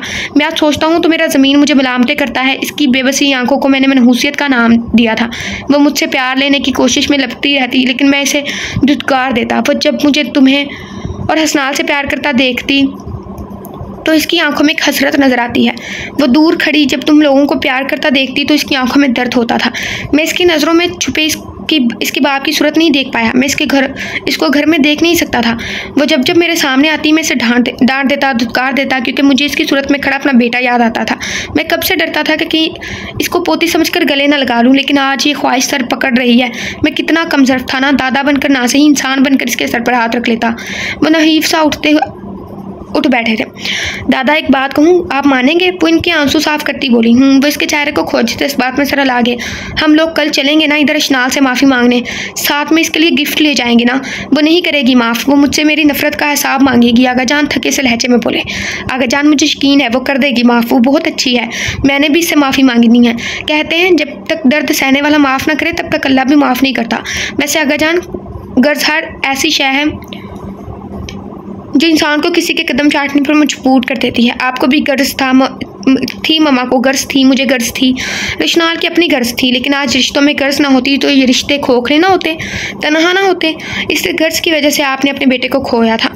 आपने मोहब्बतों का कर्ज लिया पापा से, कि वो छोटी अम्मी को तलाक देंगे तो इस घर में कदम रखेंगे। मामा ने आपसे ताया होने का हिसाब मांगा कि आप इनसे मोहब्बत में क्या कर सकते हैं। मैंने शनाल के साथ गलत किया, इसकी मसूमियत से फ़ायदा उठाए। इससे काम करवाती, काम होता तो इसे बुलाती, ना होता तो पूछती नहीं कि वो कौन है। रोशनाल ने इसे गलत समझा इस रिश्ते की इस गर्ज की चक्की में सिर्फ़ और सिर्फ़ अशनाल पिसी है। वह दूसरों के सामने इतनी अच्छी बन गई कि इसकी खुद की ज़ात की तहलील होकर रह गई थी। अगर सब एक दूसरे के गलत सलूक पर दूसरों को इनके लहजों का एहसास दिलाते तो सब पछता ना रहे होते। इसमें इस नस्ल का कसूर नहीं है। हमें जैसी ट्रेनिंग दी जाती है, हम वैसे ही बनते हैं। हमें रिश्तों में डर और अदावतें सिखाई जाती हैं। प्यार का तो सवाल ही पैदा नहीं होता। सही कह रही हूँ, वो इसके एक लफ्ज़ में खोए हुए बोले थे। फिर वो इसको और मेडिसिन देख कर तब तक इसके पास से नहीं उठी थी, जब तक वो सोए नहीं गए थे। डोरबेल पर डोर पर बैल सुनती खुद निकल गई थी। मिनाल ने दरवाज़ा खोला तो सामने रफ से हुलिये में स्नाल खड़ा था। खैर तो है, आज लगता है ये दस्तक दरवाजे पर नहीं, आपके दिल पर लगी है। तभी भागी चली आई। वो ऑरेंज कलर के कपड़े पहने ऊपर हमरंग दुपट्टे में खुद को कवर किए खड़ी थी। इसको ऐसे देखकर मुस्कराता हुआ बोला, बकवास बंद करो। अम्मी और खाला घर नहीं, इसलिए मैंने दरवाज़ा खोलने आई हूँ। हाय, शुक्र है। आए गले मिलते हैं। वो हाथ फैलाते हुए अपने डिम्पल निकालते हुए बोला था, दफ़ा हो अंदर। इसके ऐसा करने से वो उछल कर पीछे और गुस्से से बोली थी, जबकि वो इसकी बात सुनता बगैर कोई रिस्पॉन्स किए। लैपटॉप बैग उठाए अंदर आ गया था। वो पीछे से इसकी चोरी पुश्त देखने लगी और तासुब से सर हिलाया जो अपने रूम की तरफ़ जा रहा था। वो डोर बंद करके किचन में आई से लगा वो नाराज़ होकर चला गया है। इसके लिए गिलास में पानी लाई थी। वो रूम में आई, इसको देखा, जो चेयर पर बैठे लैपटॉप रखे, किसी मोबाइल को लैपटॉप की यूएसबी से कनेक्ट करके काम कर रहा था। वो हैरान हुई थी। अभी तो वो काम से आया था और अभी फिर से ऐसे बैठ गया था जैसे कोई नोबल प्राइज़ जीतना हो। वो पानी रख कर वहीं बैठ गई थी। वो इसे देखने लगी, जो रफ से हुलिये में भी कमाल की जाजबियत रखता था। वो इसका बगौर जायज़ा लेने लगी, जिसने ब्राउन शर्ट, जिस पर रोमन रेस की तस्वीर थी। बिखरे बाल गाल पर पड़ते डिम्पल वैसे तो नज़र आ रहा था, लेकिन इसकी संजीदगी से वो नुमाया नहीं हो रहा था। वो इससे नज़रें चुराने लगी। लगता है किसी को प्यार हो रहा है मुझसे। इसकी नज़रें लैपटॉप पर थी, लेकिन इसको अपनी तरफ़ चोरी देखता पाकर एकदम से बोला था अलहमदिल्ला दिमाग है मेरा। वो भी ठीक, सॉरी ठक से जवाब देते हुए बोली थी। वो तो न्यूटन का भी था। पता है इस बेचारे के साथ क्या हुआ? है वो ऐसे ही काम पर ध्यान रखते हुए बोला था, क्या हुआ था? मिनाल ने भी वैसे ही पूछ लिया था, होना क्या था? बेचारे कब्र में पड़ा हुआ है, इस तमाह के साथ भी।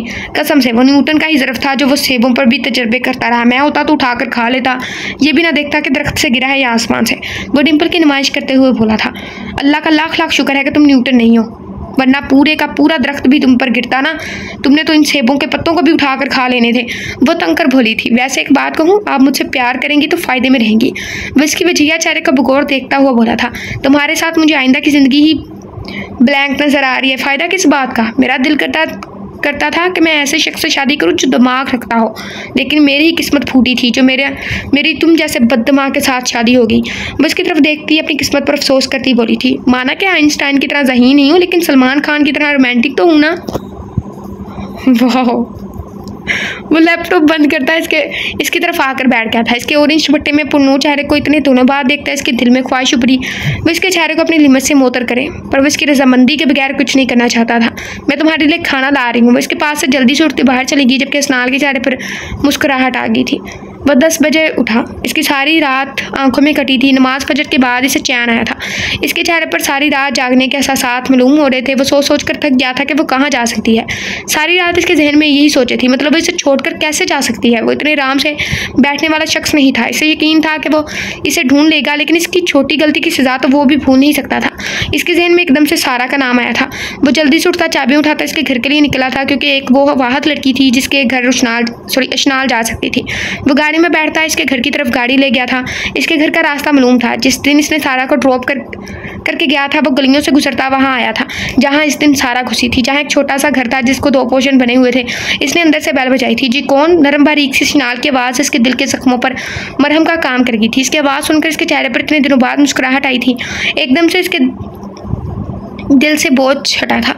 वो नहीं बोला। इसे पता था कि अगर वो बोल पड़ा तो इसकी नाजुक सी बीवी ने वफात पा जाना है। इसने फिर गेट पर हाथ रखकर बजाया था। अब की बार इसने बैल नहीं बजाई। क्या मसला है? कौन है? वो एकदम से झुंझला कर दरवाज़ा खोल गई थी। सामने सफ़ेद दुपट्टे में लिपटा इसका चेहरा गुलाबी चेहरा किसी गुलाब के फूल की तरह लग रहा था। इसके रू, रूप और ज़्यादा पक रूप में और ज़्यादा पाकिजगी आ गई थी। और आज इसने नूर का पैकर देखा था। वो फ्रीज होकर इसे देखने लगा था। औरत के वैसे बहुत से मकाम हैं लेकिन इस दस मकाम में वो औज कामलियत हासिल करती है। औरत की हया इसके खलूस में, इसकी वफा, निगाहों में इसकी अदा, इसके भोलपन में, इस, हुसन इसकी सादगी में असमत इसके किरदार में, गुस्सा इसकी ज़बान में, काबिलियत इसकी सीरत में, चाहत इसके अंदाज में, सब्र इसकी खामोशी में, गरूर इसके पर्दे में, और सबसे अहम बात, अपनी खूबसूरती से लापरवाह। ये सब औरतों की खसूसियात हैं। ये सब खूबियाँ औरत को मुमताज़ बनाती हैं। शायद इन सब मकाम में औरतों को बुलंद मकाम दिया गया है और वो सारी खूबियाँ सामने खड़ी इसकी शरीक याद में थी। आज पंद्रह दिनों बाद वो इसके उदास चेहरे पर मुस्कान लाई थी। आप इसको एकदम से अपने सामने देखकर इसके चेहरे का रंग एक मिनट में उड़ा था। वो जरिश पकड़ गई थी। जरिश पकड़ गई मतलब वो सोच में सोच भी नहीं सकती थी कि वो श, वो शख्स यहाँ तक पहुँच गया था। आपको कैसे पता चला कि मैं यहाँ हूँ? वो इसके सामने इसको सामने देख कर बढ़ाई थी और एकदम से इसका सामना नहीं कर पाई थी। मैं तुम्हें शहर पाताल से भी निकाल लेता। ये तो फिर अपना शहर है। वही दिल जलाने वाली मुस्कुराहट इसके चेहरे पर आई थी। इसको देखकर पल भर में इतमाद वापस आया था। घर चलो। वो इसके हुसन हसीन मुखड़े को देखते संजीदा लहजे में बोला था, नहीं जाऊँगी, मैं आपसे नफरत करती हूँ। एकदम से आँसू इसके गालों पर फैले थे, वो तो मैं भी करता हूँ, घर चलो तो दोनों एक दूसरे से करेंगे। फिर मिल बैठ कर डिसाइड करेंगे किसकी नफरत में शिद्दत ज़्यादा है। वो मायनी खेजी से कहता, इसके छक्के छुड़ा गया, इसका खून सारा सिमट कर इसके चेहरे पर आया था। वो इससे ऐसी तो नहीं रख सकी, पर वह मासूम आज तक नहीं समझ सकी कि वो ये अजीब इंसान हर किसी की तो से बढ़कर है। वो सुरख चेहरा लिए लब काटने लगी। कसम से ऐसे ही छोड़ दो, इस तरह जुल्म ना करो, नहीं गिरेंगे लब। आपको शर्म नहीं आती इस तरह की बातें करने से? वो घबरा कर बोली, जब से तुम छोड़ कर आई, मर गई है, वो दफनाओगी और दफनाओगी तुम। मैं किलर नहीं हूँ, वो फक पड़ते चेहरे सॉरी रंग के साथ बोली, जबकि इसके दिलकश मन होने से चेहरे का ये रूप देखकर अपने बेसाख्ता आने वाले कहके का गला घूंटा था। चलो शाबाश, जल्दी आओ, मैं इंतज़ार कर रहा हूँ, मुझे तनहाइयों में मुबतला करके खुद यहाँ आकर बैठ गई हो। वो अपनी डार्क ब्राउन आँखों से इसका मायना करते हुए बोला था, मैं नहीं जाऊँगी आपके साथ, ये मेरा आखिरी फैसला है और ना ही मैं आप जैसे दोगले इंसान के साथ नहीं रहना चाहती हूँ। वो इसकी तरफ़ देखती पूरे इतमाद से बोली थी, आपके साथ जाने से बेहतर है कि मैं जहर खा लूँ। इस शख्स को हंसता देख, मुस्कुराता देख इसके चेहरे इसका चेहरा गम गुस्से की ज्यादती से लाल हुआ था, यानी वो इससे जुदा होकर खुश था। क्यों? इसकी कोई वजह? वो इसका तपा चेहरा देखकर हनूस मुस्कुराता हुआ बोला, आपसे नफरत करती हूँ, इससे बड़ी वजह और क्या है? वो निगाहें झुकाए तलखी से बोली थी, और इस नफरत की वजह क्या है? वो इसके झुके सर को देख कर घोषता हुआ बोला, नफरत की वजह आपको पता होगी, क्योंकि आपने खुद मुझसे ये करने पर मजबूर किया है। अब मुझे इतनी नफरत हो गई है कि आप जब जब मेरे करीब आते हैं, मेरा दिल करता है, मैं मैं कहते हुए कुछ सोच कर रुक गई थी। कितनी? बोलो ना, रुको क्यों गई? बुझ को खामोश होते देख कर बोला कि मैं खुद को ख़त्म कर लूँ। बुझ को मैं सलसल अपनी तरफ़ देखता पा, पाता देखकर वो लाल चेहरा लिए एक सांस में कह गई थी, और मेरी नफरतों का अंदाज़ा तुम सह नहीं पाओगी। अशनाल वक्त मेरी नफरत की इंतहा तुमसे सौ गुना बढ़कर है। मैं तुमसे इतनी नफरत करता हूँ कि अगर अब मुझसे दूर होने के बारे में सोचा भी तो खुद अपने हाथों से जान ले लूँगा तुम्हारी। यह कहते हुए इसकी तरफ़ कदम बढ़ाया था। हद में रहें। वो सहम कर पीछे हुई हल्की सी चीखती जल्दी से दरवाज़ा इसके मुँह पर मार कर बंद करने लगी, जब वो अपनी पाँव दरवाजे के दरमियान रख क्या था। अगर अपना तमाशा बनवाना चाहती हो तो ठीक है, तुम्हारी दोस्त से मिल लेता हूँ। तो संजीदगी से बोला जी नहीं, वो कॉलेज गई है। मैं और आंटी ही घर अकेले हैं। वो इसको रोकने की घर से बोली ताकि वो अंदर ना आ सके और बाहर ही से किसी तरह भी इसे इसको भेज दें। ये तो और भी अच्छी बात है, मैं खुद आंटी से मिल लेता हूँ। गपशप भी हो जाएगी और इनका शुक्रिया भी अदा कर दूँगा। आंटी अभी सो रही हैं, इसने फिर से जान छुड़ानी चाहिए। चलो तब तक मैं वेट कर लेता हूँ। वो हाथ बांधे दरवाजे के ओके थम से टेक लगा गया। शान भी नियाजे से खड़ा हो गया था। जब मैं आपके साथ जाना नहीं चाहती तो आप मुझे फोर्स क्यों कर रहे हैं? जब मेरी मर्ज़ी ही नहीं है। वो हन्नी जैसी आँखें निकाल कर बोली थी, मैं उठा कर ले जाऊँगा। तुम्हारी मर्ज़ी की ऐसी की तैसी। वो अब गुस्से में आ गया था। चलो, आओ शाबाश। जब नहीं जाना आपके साथ तो क्यों परेशान कर रहे हैं मुझे? वो अब का ज़ोर से दरवाज़ा बंद करने लगी थी। इस रात वाली जिद भूल गई, जिसकी वजह से यहाँ आकर छुपी हुई हो।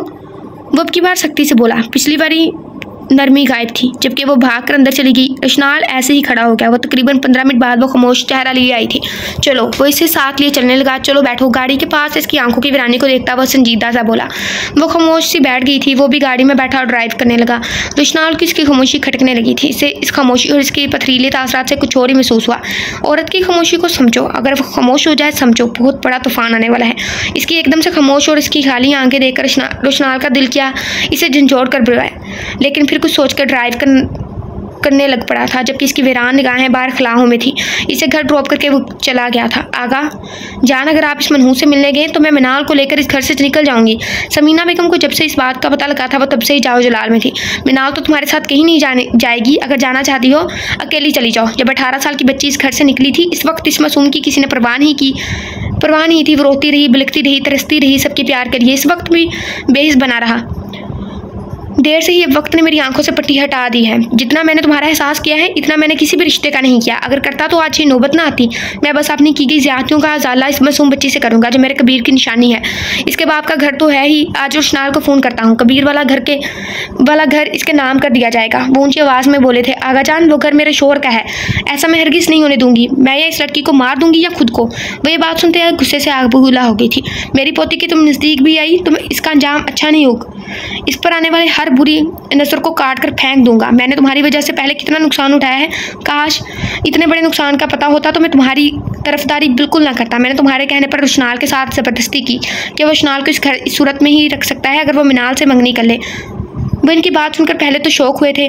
बेटे की मौत तो वो सह गए थे, लेकिन पोती की मौत, इस सोच ने इनके रोंगटे खड़े कर दिए थे। वो कब से बेकरार थे कि इसको सीने से लगाएँ, इसको घर लेकर आएँ। लेकिन वो आएगी, क्या वो इनके गुनाहों पर इनको माफ़ कर देगी? पर आगा जान मैं ऐसा होने नहीं दूँगी। वो घर मीनार के नाम होगा। मिनाल भी तो कबीर ही की बेटी है, पर मामा मुझे और अशनाल को घर नहीं चाहिए। हमें इस घर में बसते रिश्ते चाहिए, बगैर किसी गर्ज के। ऐसा घर चाहिए जहाँ खुशियाँ हो, प्यार हो, मोहब्बत हो, खलूस हो इतफाक़ हो, जहाँ अतमाद की फ़िज़ा हो। नफ़रतें ना हो, अदावतें का, अदावतों का ढेरा ना हो।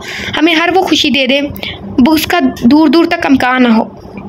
हर चीज़ तो बाज़ारों से भी मिल जाती है, लेकिन मोहब्बत या एहसास बाज़ारों से नहीं मिलते, जिससे आपने मुझे और शनाल को बचपन से महरूम रखा था। अब मेरी माँ है, आपको भी पता है आपने मेरे बचपन में कितनी कमियाँ जोड़ी हैं।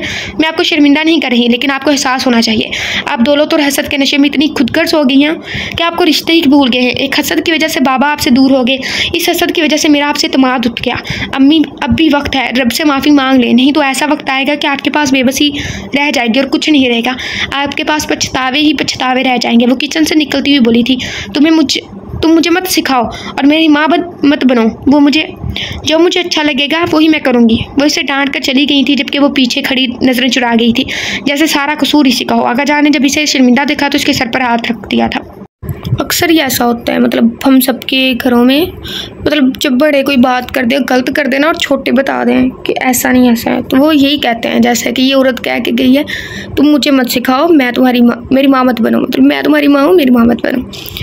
ऐसे ही करते हैं। हालाँकि बेशक उन छोटों की बात सही हो, लेकिन वो अहमियत नहीं देते, क्यों नहीं देते? क्योंकि वे छोटे हैं, इसलिए उनकी बातों को अहमियत नहीं दी जाती। हालाँकि उनकी बातें अक्सर सही भी होती हैं, लेकिन बड़े अहमियत नहीं देते।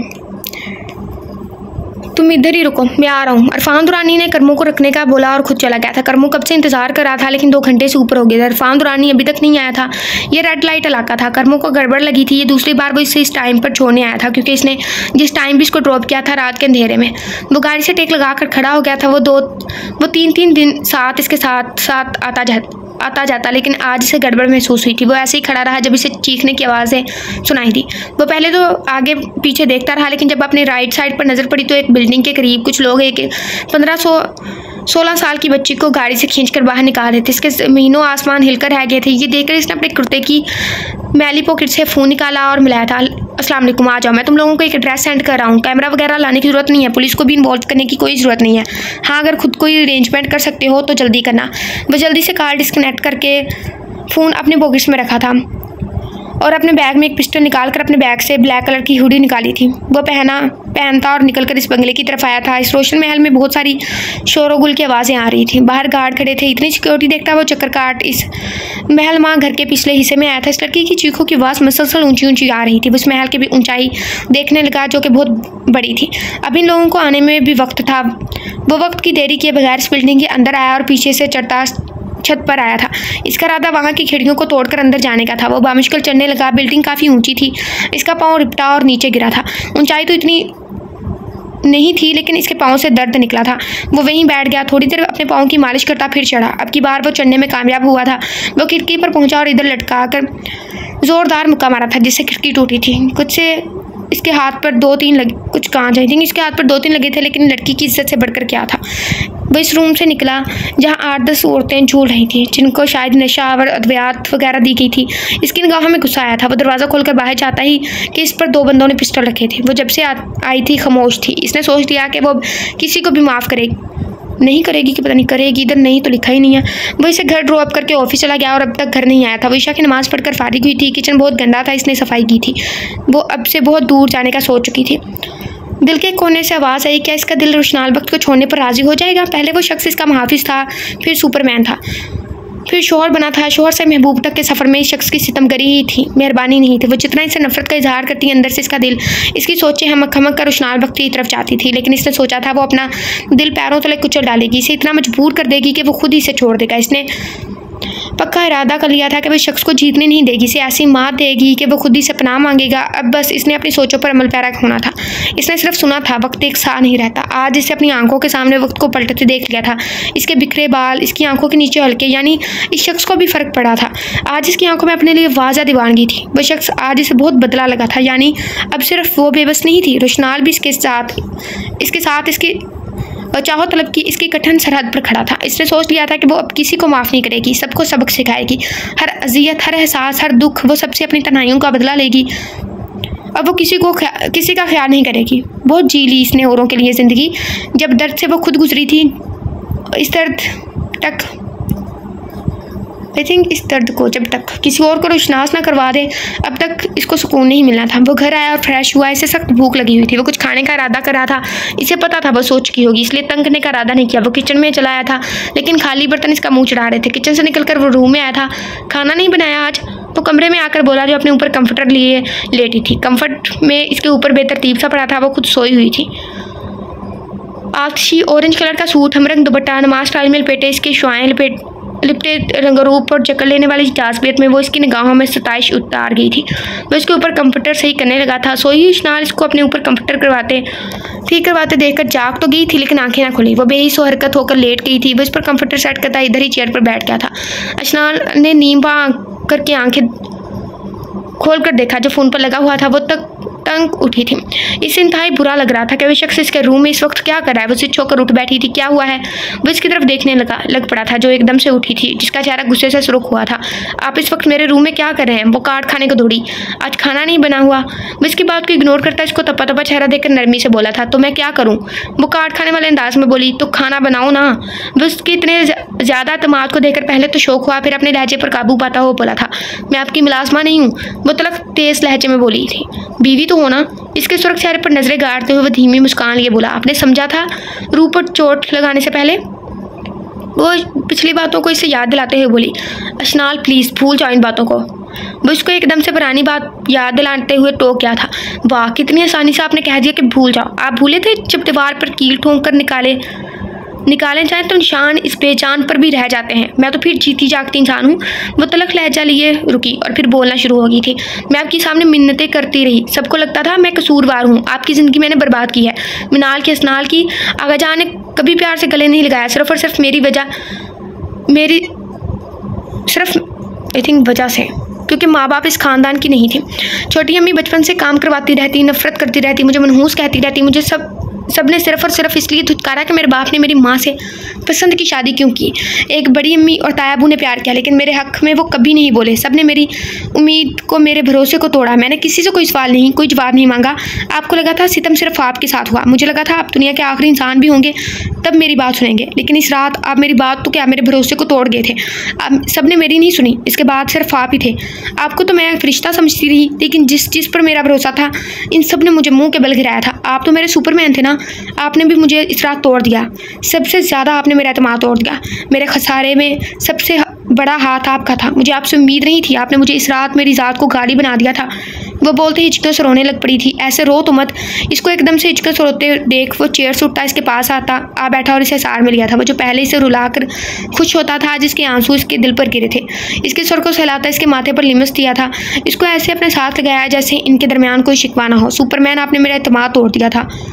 आपने मुझसे मेरा सुपरमैन छीन लिया था, मुझे आप पे गुरूर था, आप पे यकीन था।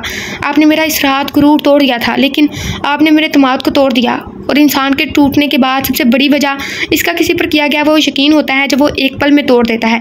आज वो पूरे चार महीनों बाद फिर से शिकवे शिकायत करके अपने गिरदो गुबार निकाल रही थी। वो मासूम सी लड़की इतने दर्द अंदर छुपाए बैठी थी, इसका दिल पाश पाश हुआ था इसके शिकवों पर। प्लीज़ रो मत, मैं तुम्हारा, तुम्हें तुम्हारा यकीन वापस दिलाऊँगा। मैं तुम्हें, तुम्हारा सुपरमैन और तुम्हारा यकीन वापस लुटा दूँगा। अब इसका मुँह सामने करके अपने हाथों से साफ़ करते इसकी पिशानी पर लब रखते हुए बोला, यकीन जब एक दफ़ा टूट जाए तो वापस छुटते नहीं है रुशनाल साहब।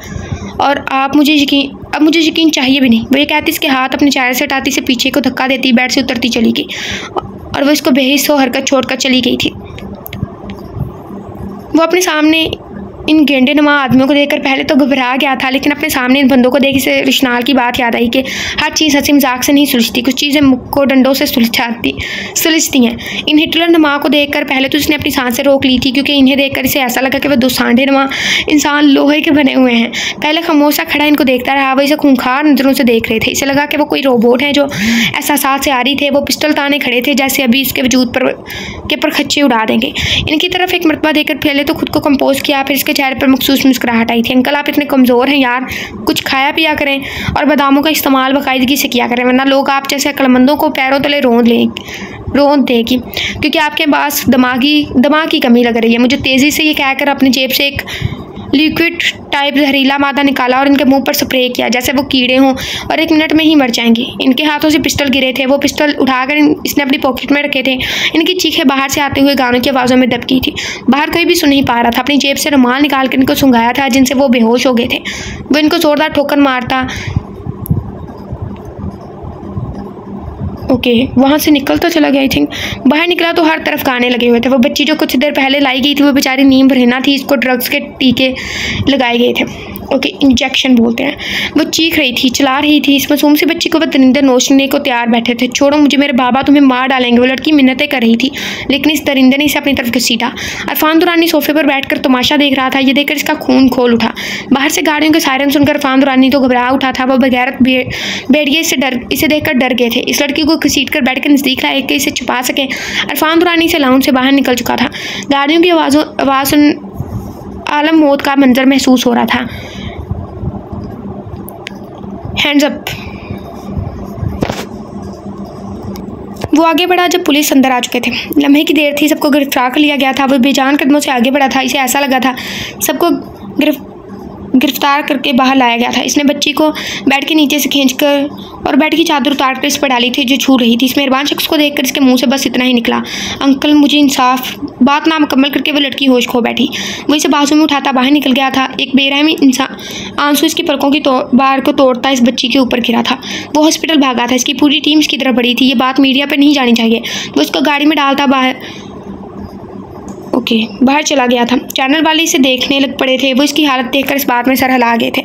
वो खुद को कसूरवार समझ रहा था। इस मुस्कुराहट के बादशाह का दिल किया कर रहा था कि वो आज खुद को फना कर ले। वो इस बच्ची का जिम्मेदार खुद को समझ रहा था। जान दी तो इसी की थी। हक तो यह है कि हक अदा ही ना हुआ। आज कॉलेज क्यों नहीं गई? वो सोकर उठा, आज खिलाफे मबूल इसको किचन में खड़े देखकर बोला, जो नाश्ता बना रही थी। इसे घर देखकर ये तो जान चुका था कि वो कॉलेज छोड़ने का प्रोग्राम कर बैठी थी। बचपन में इसको पाला था। इसकी रग रग से वाकिफ़ था। ये अलग बात थी कि इनमें तनाज़ात आए, आई थी। मेरी मर्ज़ी, में जाऊँ या ना जाऊँ, वो आखिरी पराठा बनाकर हाट पाट में रख चुकी थी। वो तवे को चूल्हे से उतार कर बिना इसकी तरफ़ देखे बोली, इश्नाल, मुझे सख्ती पर मजबूर मत करो। मैं जितना नरम पड़ा हूँ, तुम इतना ही सर पर चढ़ रही हो। वो इसकी पुश्त देखता, तलख मिजाज लहजा में ये बोला, किसने कहा सर पर चढ़ाएँ? मैंने कहा, मुझे आपके साथ नहीं रहना, आपको खुद ही शौक चढ़ा था, हुआ था, मुझे अपने घर लाने का। अब भुगते वो मुँह फट अंदाज में गुस्सा और बदतमीज़ी से बोली थी अशनाल माइंड योर लैंग्वेज छोटे बड़े की तमीज़ भूल ही गई हो, अदबो लिहाज तुम्हें बिल्कुल ही ख़त्म होता जा रहा है। अब मुझे खुद सख्ती करने पर मजबूर कर रही हो, आप अपनी ज़ुबान को संभालें, मुझे अदबो अदाब मत सिखाएँ।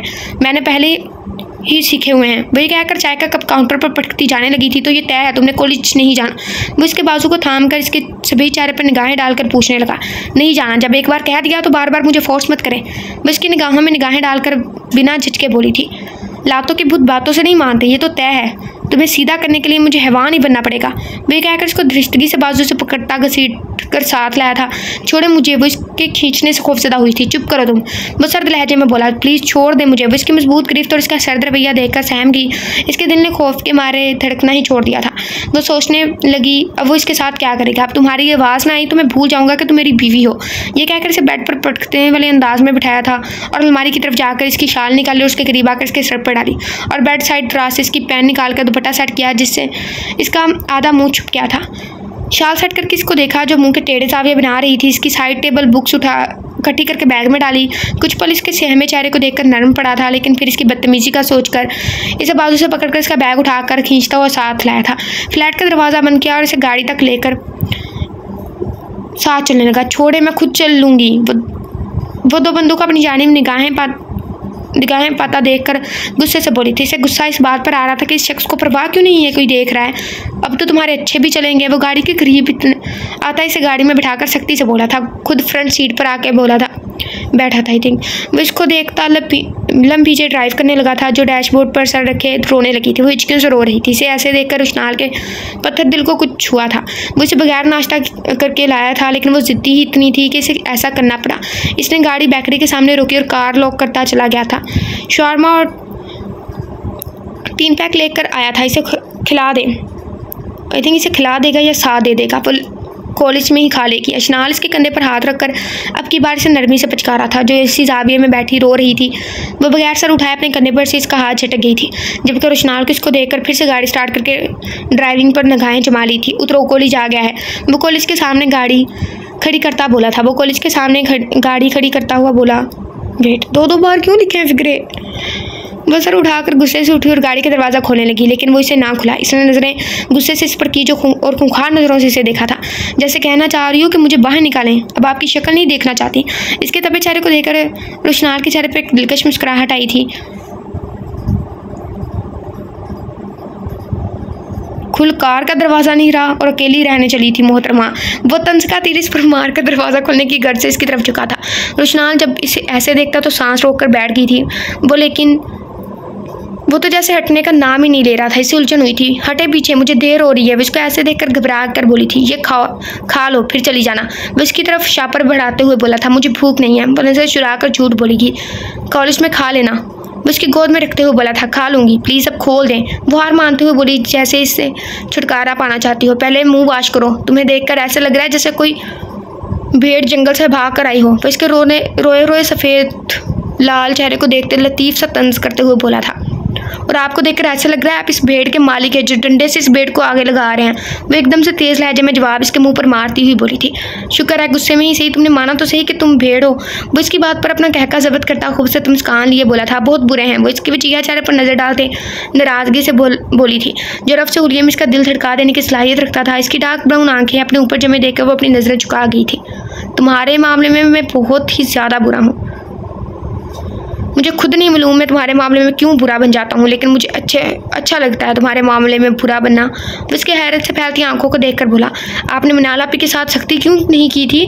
इसे तो आपने कभी नहीं मना किया। मैं ही क्यों हर चीज़, किसी किताब का निशाना बनी हूँ?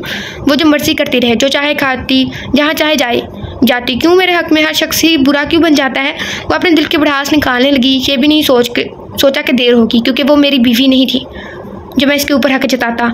वो मेरी नहीं थी। जो मैं इसे टोकता, इसे मना करता, तुम मेरी बीवी हो। मैं तुम में मैं तुम पर हक जताऊँगा। तुम मेरी हो, सिर्फ़ और सिर्फ़ मेरी मेरी सांस सांस में बस गई हो।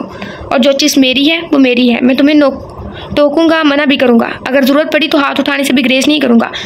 मैं इसकी तरफ़ झुकते इसकी हिन्नी जैसी नशीली आँखों में देखते हुए गुस्से से बोला, चीज़ें तो वक्ती होती हैं जो अपनी महदूदात सॉरी महदूद मुद्दत तक सा देती हैं। फिर तोड़ कर फेंक दी जाती हैं, मगर मैं कोई चीज़ नहीं हूँ। ज़िंदा इंसान हूँ, बेजान शह नहीं हूँ। तुम मेरी अंतुल हयात हो।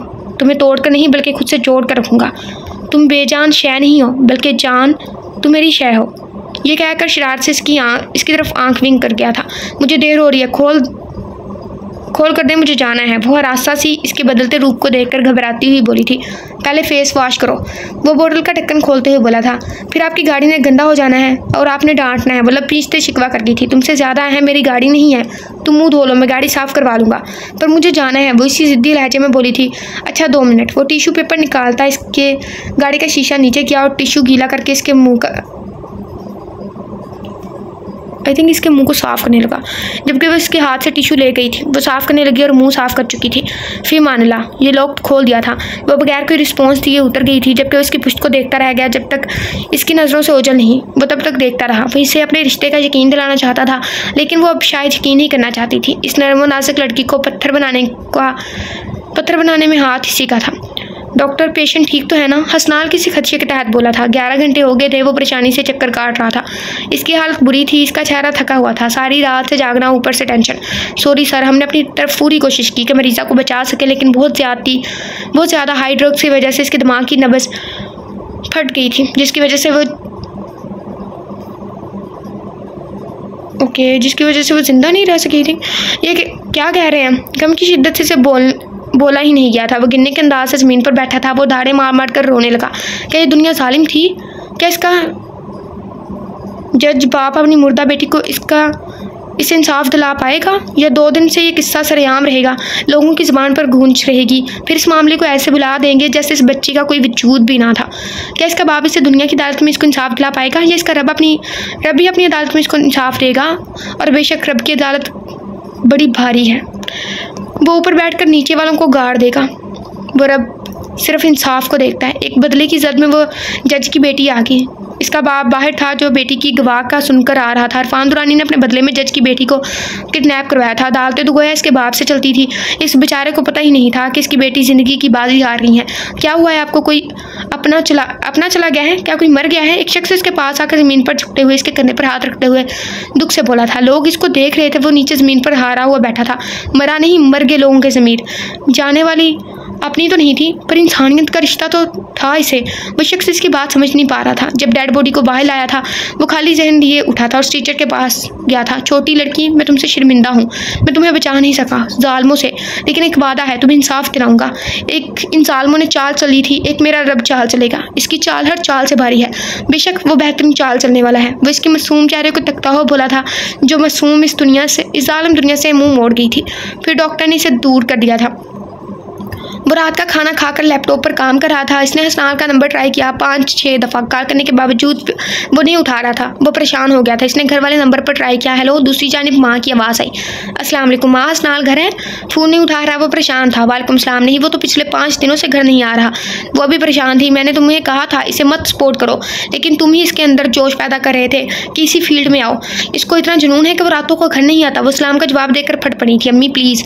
इसने जब फ़ील्ड पर फ़ील्ड ये रखी मैं क्या कर सकता? इसके दिल में बचपन से शौक था परेशान ना हो। रूटीन इसकी टफ है बिज़ी हो गया बिज़ी होगा। और बाबा का है आगा जान ठीक है खाला कैसी हैं? वो इनकी परेशानी से भरपूर आवाज़ सुनकर इनका ध्यान हटा गया था।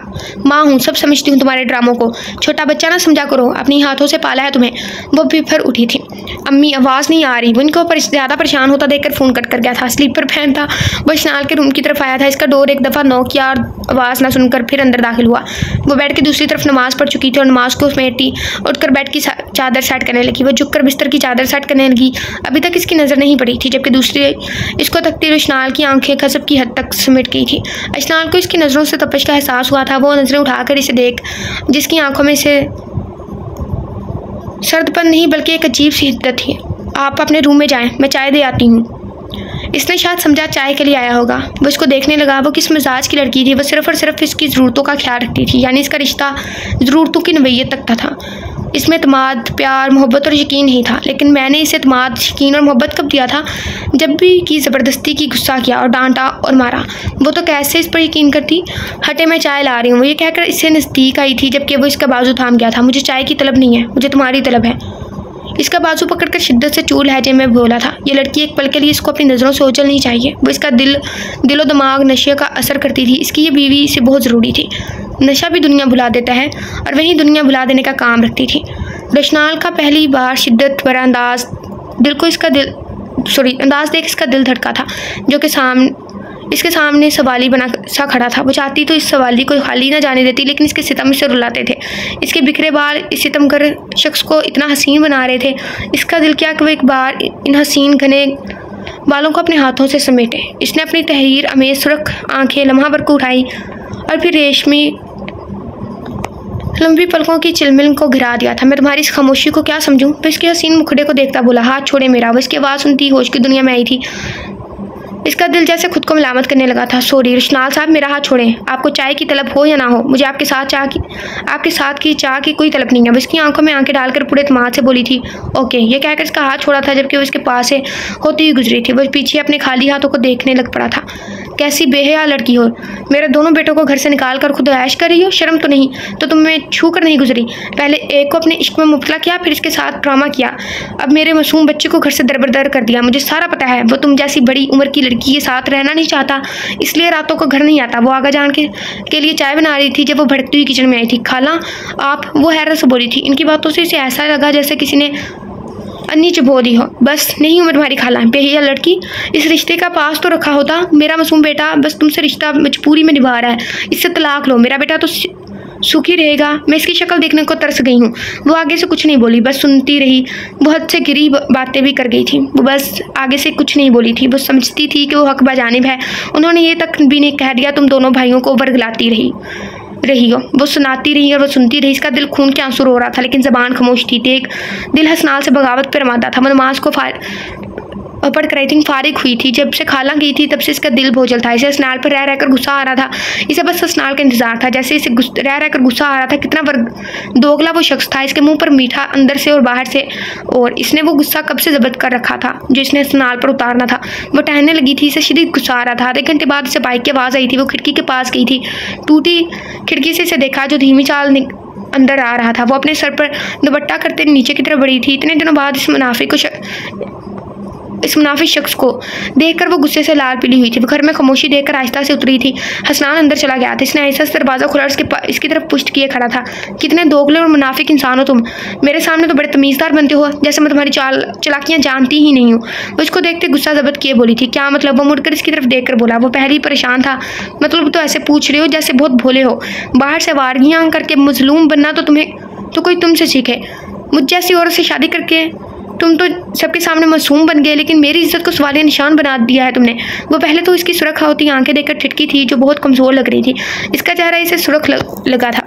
लेकिन फिर इसकी माँ की की गई बातें याद आई तो वो रह ना सके। मिनाल एक बार कह रहा हूँ मैं तुमसे कोई बहस नहीं करना चाहता। इसलिए दूर हो तो बेहतर होगा। और आपसे तुम पर आया था। आज मैंने आपको बदला हुआ स्नान लगा था जिसके चेहरे की मखसूस मुस्कुराहट गायब थी। मैं भी तुमसे कोई बहस नहीं करना चाहती। बस मुझे तलाक दो और छुटकारा पाओ। वो इसके नज़दीक आई उसका गिरबान थाम गई थी। क्यों दूँ? मुझसे दिल भर गया या कोई और पसंद आ गया है? वो अपने गिरबान से इसका हाथ हटाता हुआ बोला था, मुझे कोई पसंद आया हो या ना आया हो, मुझे तलाक दो। अभी और इस अभी वो इसका फिर से शर्ट का गिरबान था, मैं पागलों की तरह बोली, बकवास बंद करो अपनी। सारी अकड़ ख़त्म करूँगा, मुझसे जुदा होने का इतना शौक जो है पागल औरत हर वक्त मेरा दिमाग ख़राब करके रखा है तुमने। इसके हाथ गिरबान से टाकर से बेड पर फेंका था वो अलमारी से बेल्ट लेकर आया था। हसनाल प्लीज़ तुम मुझे माफ़ कर दो। वो इसके सामने हाथ जोड़े, इसका एकदम से गुस्सा आना इसकी समझ से बाहर था। इसका दिल वहशत से बैठा जा रहा था। आप बोलो। वो बेल्ट को एक बार फिर अपने हाथों के गिरद पेटता बोला, हसनाल, ये तुम क्या कर रहे हो? जाने दो मुझे। वो इसकी खतरनाक रवैये पर दिल पर हाथ रख लिया था। लेकिन क्या बकवास कर रहा हूँ? बोलो आप। शोहर ना समझा, काट का उल्लू समझ लिया। तुम्हारा ये खूबसूरत चेहरे में किसी और के काबिल छोड़ूँगा तो कोई तुम्हें पसंद करेगा? आप छोड़े मुझे। जो खो, खौफ से इसका रंग पीला पड़ गया। वो बहुत मुश्किल बोल पाई थी। ये अचानक क्या हो गया। उसने अचानक ही माफ़ी मांगी। सीन की थोड़ी वजाहत होनी चाहिए थी वैसे। कि उसे खौफ आया तो उसने माफ़ी मांगी है कुछ भी। या वो उसे बताती कि तुम्हारी माँ ने मुझे ऐसे बोला, इसलिए मैं तलाक मांग रही क्योंकि तुम्हारी मम्मा ने कहा है। और ये बेल्ट ना हमारे प्लीज़ हमने जस्ट बेल्ट वाला एक ही नावल पढ़ा था। फिर उसके बाद दूसरा पढ़ा, सितमगर से हम सफ़र। इसने बेल्ट उछाला था और इसके लंबे बालों को देखकर अगले पिछले आगे पीछे बिखरे हुए थे, जो सहमी हुई चुड़िया लग रही थी, जिसने खौफ से अपनी तरफ़, अपनी आँखें बंद की थी। कुछ देर अपने जिसम पर कोई जरब न पाकर डरते डरते आँखें खोली थी तो उस नाल को सोफे पर बैठा हुआ था, जिसने सर हाथों में गिराया हुआ था। इसको ऐसे देखकर परेशान हुई और अपनी शर्ट दुरुस्त करती इसकी तरफ़ आई थी। स्नाल इसने नरम से आवाज़ में इसके कंधे पर हाथ रखकर पुकारा था, क्या हुआ है? कोई परेशानी है? किसी से लड़ाई हुई है? वो इसके मैले कपड़ों को देखते हुए दुख से बोली थी। हसनाल ने सर उठाकर इसे देखा। जो इसके लिए परेशान नज़र आ रही थी इसके परेशान चेहरे उसे अपनी फ़िक्र में खुलता देखकर एकदम से इसके साथ आ लगा था। जबकि मिनाल की धड़कन की रफ्तार तेज़ हो गई थी, वह शख्स के वीरान चेहरे उसके गर्म होते गाल अपने गर्दन पर महसूस करके अपनी सांस रोक गई थी। हसनाल, क्या हुआ है? बताओ ना। किसी से लड़ाई तो नहीं हुई। इसकी गर्म साँसें गर्दन को झुलसा रही थी, शख्स की गुर्बत इस पर गिरा गुजर रही थी। इसका कोई रिस्पॉन्स ना पाकर इसके सर को पीछे किया था। टूट गया, जोड़ दो मुझे। अपनी सूजन ज़दा आँखें इस पर टिकाते हार हारे हुए से लहजे में बोला, क्या हुआ है? बताओ ना मुझे। किसी से लड़ाई हुई है? चैनल वालों ने कुछ कहा है? क्या हुआ है? वो इसके चेहरे को हाथों में थामती, इसके दर्द में शरीक होती बोली थी, मैं कातिल बन गया हूँ। मिनाल में बहुत बड़ा संगदिल हूँ। मैं नहीं बचा पाया इसकी ज़िंदगी। इसकी आँखों में मर गई। इसके बाप का चेहरा मुरझा गया। इस बच्चे की माँ ऐसे लगता है जैसे मुर्दा लाश हो। मैं इन लोगों को क्या तसली देता? मैं खुद बेबस था। लोग कहते हैं, मर्द नहीं रोता। पर मैं कहता हूँ, मर्द हर पल रोता है। जब इसकी उम्मीदें टूटती हैं, जब इसके सामने इसका कोई प्यारा मर जाता है, जब इसके सामने इसे गलत कहा जाता है, ज़रूरी नहीं मर्द मोहब्बत की बेवफाई में रोए। मर्द अपनी ज़िंदगी के नशीब फराज में अंदर से खाली हो जाता है। वो अपने अंदर इतने गम छुपा लेता है, चेहरे पर मुस्कुराहट की तय चढ़ा लेता है। लेकिन इसका दिल खून के आँसू होता है। मुझे इतना दुख तो शनाल के असलियत खुलने पर भी नहीं हुआ था। इसका निकाह भाई से हुआ था, मैंने जबत किया था। लेकिन इतना इतना जुल्म, वो छोटी सी जब मैं हमारे घर आई थी, डरी सहमी सी बच्ची, मैंने इसके डर को देखकर इसे हंसना सिखाया था। पता नहीं कब कैसे मैं इसे पसंद करने लगा। फिर वो मेरे लिए इतनी अहम होगी, इसकी गलत हरकत की वजह से मुझे इसे नफरत हुई थी। वो ये कहकर बेबसी दिखाई दिखाई देने लगा था। हसनान, उठो, तुम्हारी तबीयत ख़राब हो गई, लग रही है। बेड पर जाकर लेट जाओ। इस बार में, बाद में बात करेंगे। वो इसकी बातों को इग्नोर करती पहले खुद उठी और फिर इसे हाथ से पकड़ कर उठाया और सहारा देकर बेड तक लेकर आई थी। वो इसको बेड पर बिठाती हुई बोली थी वो इसका हाथ पकड़े, लेट गया था? वो इसकी हालत को देख इसके स्याह बालों में उंगलियाँ चलाती रही। हैरत की बात थी कि वह सो गया था। आज वो फिर से आसमान से ज़मीन पर गिरी थी। आज फिर अशनाल बाजी ले गई थी। आज फिर वो जीत गई थी। आज फिर मिनाल रिश्तों की बाजी हार गई थी। वो सारी रात इसके सराहने बैठी रही, गुमसुम सी परेशान सी। इसकी इधर कोई जगह नहीं थी। वो अपनी हरकतों की वजह से इनकी ज़िंदगी में बहुत मिसफिट थी। अभी तो स्नाल को पता नहीं था कि स्नाल बेकसूर है। इस दिन इसे पता लगना था, इस दिन मिनाल की इस घर में क्या स्नाल की ज़िंदगी में भी कोई जगह नहीं रहनी थी। इसने अपनी बेकली की वजह से अपना बहुत बड़ा नुकसान कर लिया था। इसकी एक ही पाँच से बाईस साल ज़िंदगी में बस एक ही ख्वाहिश थी कि इसने अपनी बहन को मुँह के बल घिराना है, लेकिन वो खुद इसमें जाग थी इसकी एक ख्वाहिश से इसे खाई सॉरी, खा गई थी। वो ऐसी बहन थी जिसको बहन की खुशियों में किया कि हसरत इसे खा गया था। सबसे बढ़कर इसकी ख्वाहिश इसे खा गई थी। इमाम गजाली ने फरमाया, जानवरों में ख्वाहिश होती है, अकल नहीं होती। फरिश्तों में अकल होती है, मगर ख्वाहिश नहीं। इंसानों में अकल और ख्वाहिश दोनों होती हैं। अगर अकल ख्वाहिश पर गालिब आ जाए तो इंसान फरिश्ता, और अगर ख्वाहिश अकल पर गालिब आ जाए तो इंसान जानवर। वह हकीकत तो ये है, इंसान ख्वाहिशों की तकमीन में भागते हैं। वो पूरी ज़िंदगी ख्वाहिशों में इतना आगे चले जाते हैं कि इनकी राह में इंतज़ार करती ज़िंदगी बेहतरीन करने के अमल में पीछे रह जाती है। इंसान हर चीज़ की ख्वाहिश करते हैं और मौत बस इनकी ख्वाहिश करती है। वो हासिल चीज़ों के पीछे भागते हैं, जब मौत इनको हासिल करने के लिए मंडलाती रहती है किसी बेरहम चील की तरह। बेशरम लड़की, ये तुम्हारे बैग से ही निकला है। मैम सना इसके सर पर खड़ी तफ्तीश कर रही थी। अशनाल काँप रही थी। जब आज क्लास में चेकिंग होनी थी, पूरी क्लास में खामोशी थी। वो जो सारा के साथ बैठती थी, आज सारा कॉलेज में नहीं आई थी। इसकी नन्ना सा दिल धड़कने लग पड़ा था। वो पहले हैरानगी से देखती रही, समझ नहीं आया था कि क्या हुआ है। लेकिन सफ़ेद कागज़ पर लिखे पहले तो वो सदमे से में चली गई थी। मैम, ये मेरा नहीं है। ये मैंने नहीं लिखा। कसम से मैं सच कह रही हूँ। वो एकदम से हरकत में आई थी। वो आँखों के आँसू पहुँचते हुए बोली, झूठ बोलती हो, बकवास करती हो? मैम सना थोड़ी सी थोड़ी सी एजेंट थी। इसका क्या मतलब है? सख्त थी ये सुना है। इसके बैग से निकला कागज़ और इसमें लिखी लाइनें पढ़कर इन्हें पहले ही गुस्साया था। उन्होंने आओ देखा ना तो इसके बालों से खींचकर इसके मुँह पर थप्पड़ मारे थे। तुम जैसी लड़कियाँ होती हैं।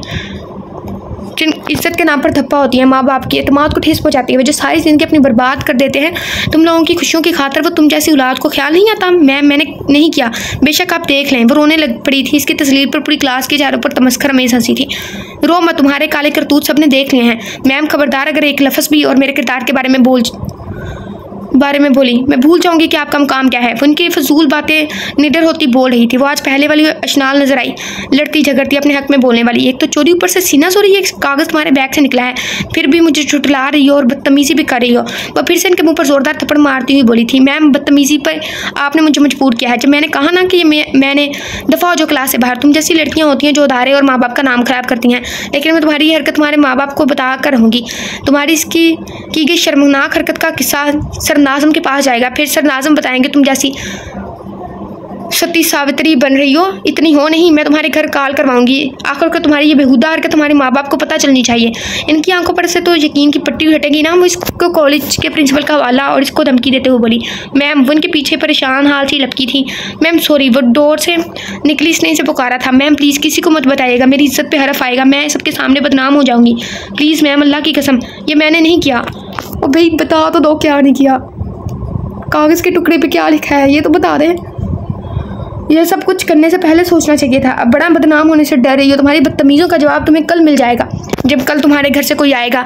वो संगदील औरत ये कहकर चली गई, जबकि पीछे शनाल इनकी दूसरी क्लास होने से पहले इनके पीछे गई थी। इसे अपने बेजत होने का डर था। अगर शनाल को पता चल चल गया इसके आगे डर से, वो कुछ सोच नहीं सकी, क्योंकि इस कॉलेज में इसकी सरप्रस्त तो रोशनाल था, क्योंकि एडमिशन तो इसने करवाया था और रिकॉर्ड लिस्ट में फ़ोन नंबर भी इसी का था। वो रोती रहेगी।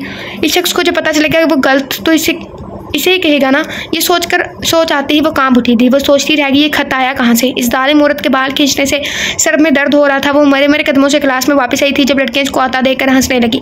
वो अपनी चेयर पर परेशान बैठ गई थी।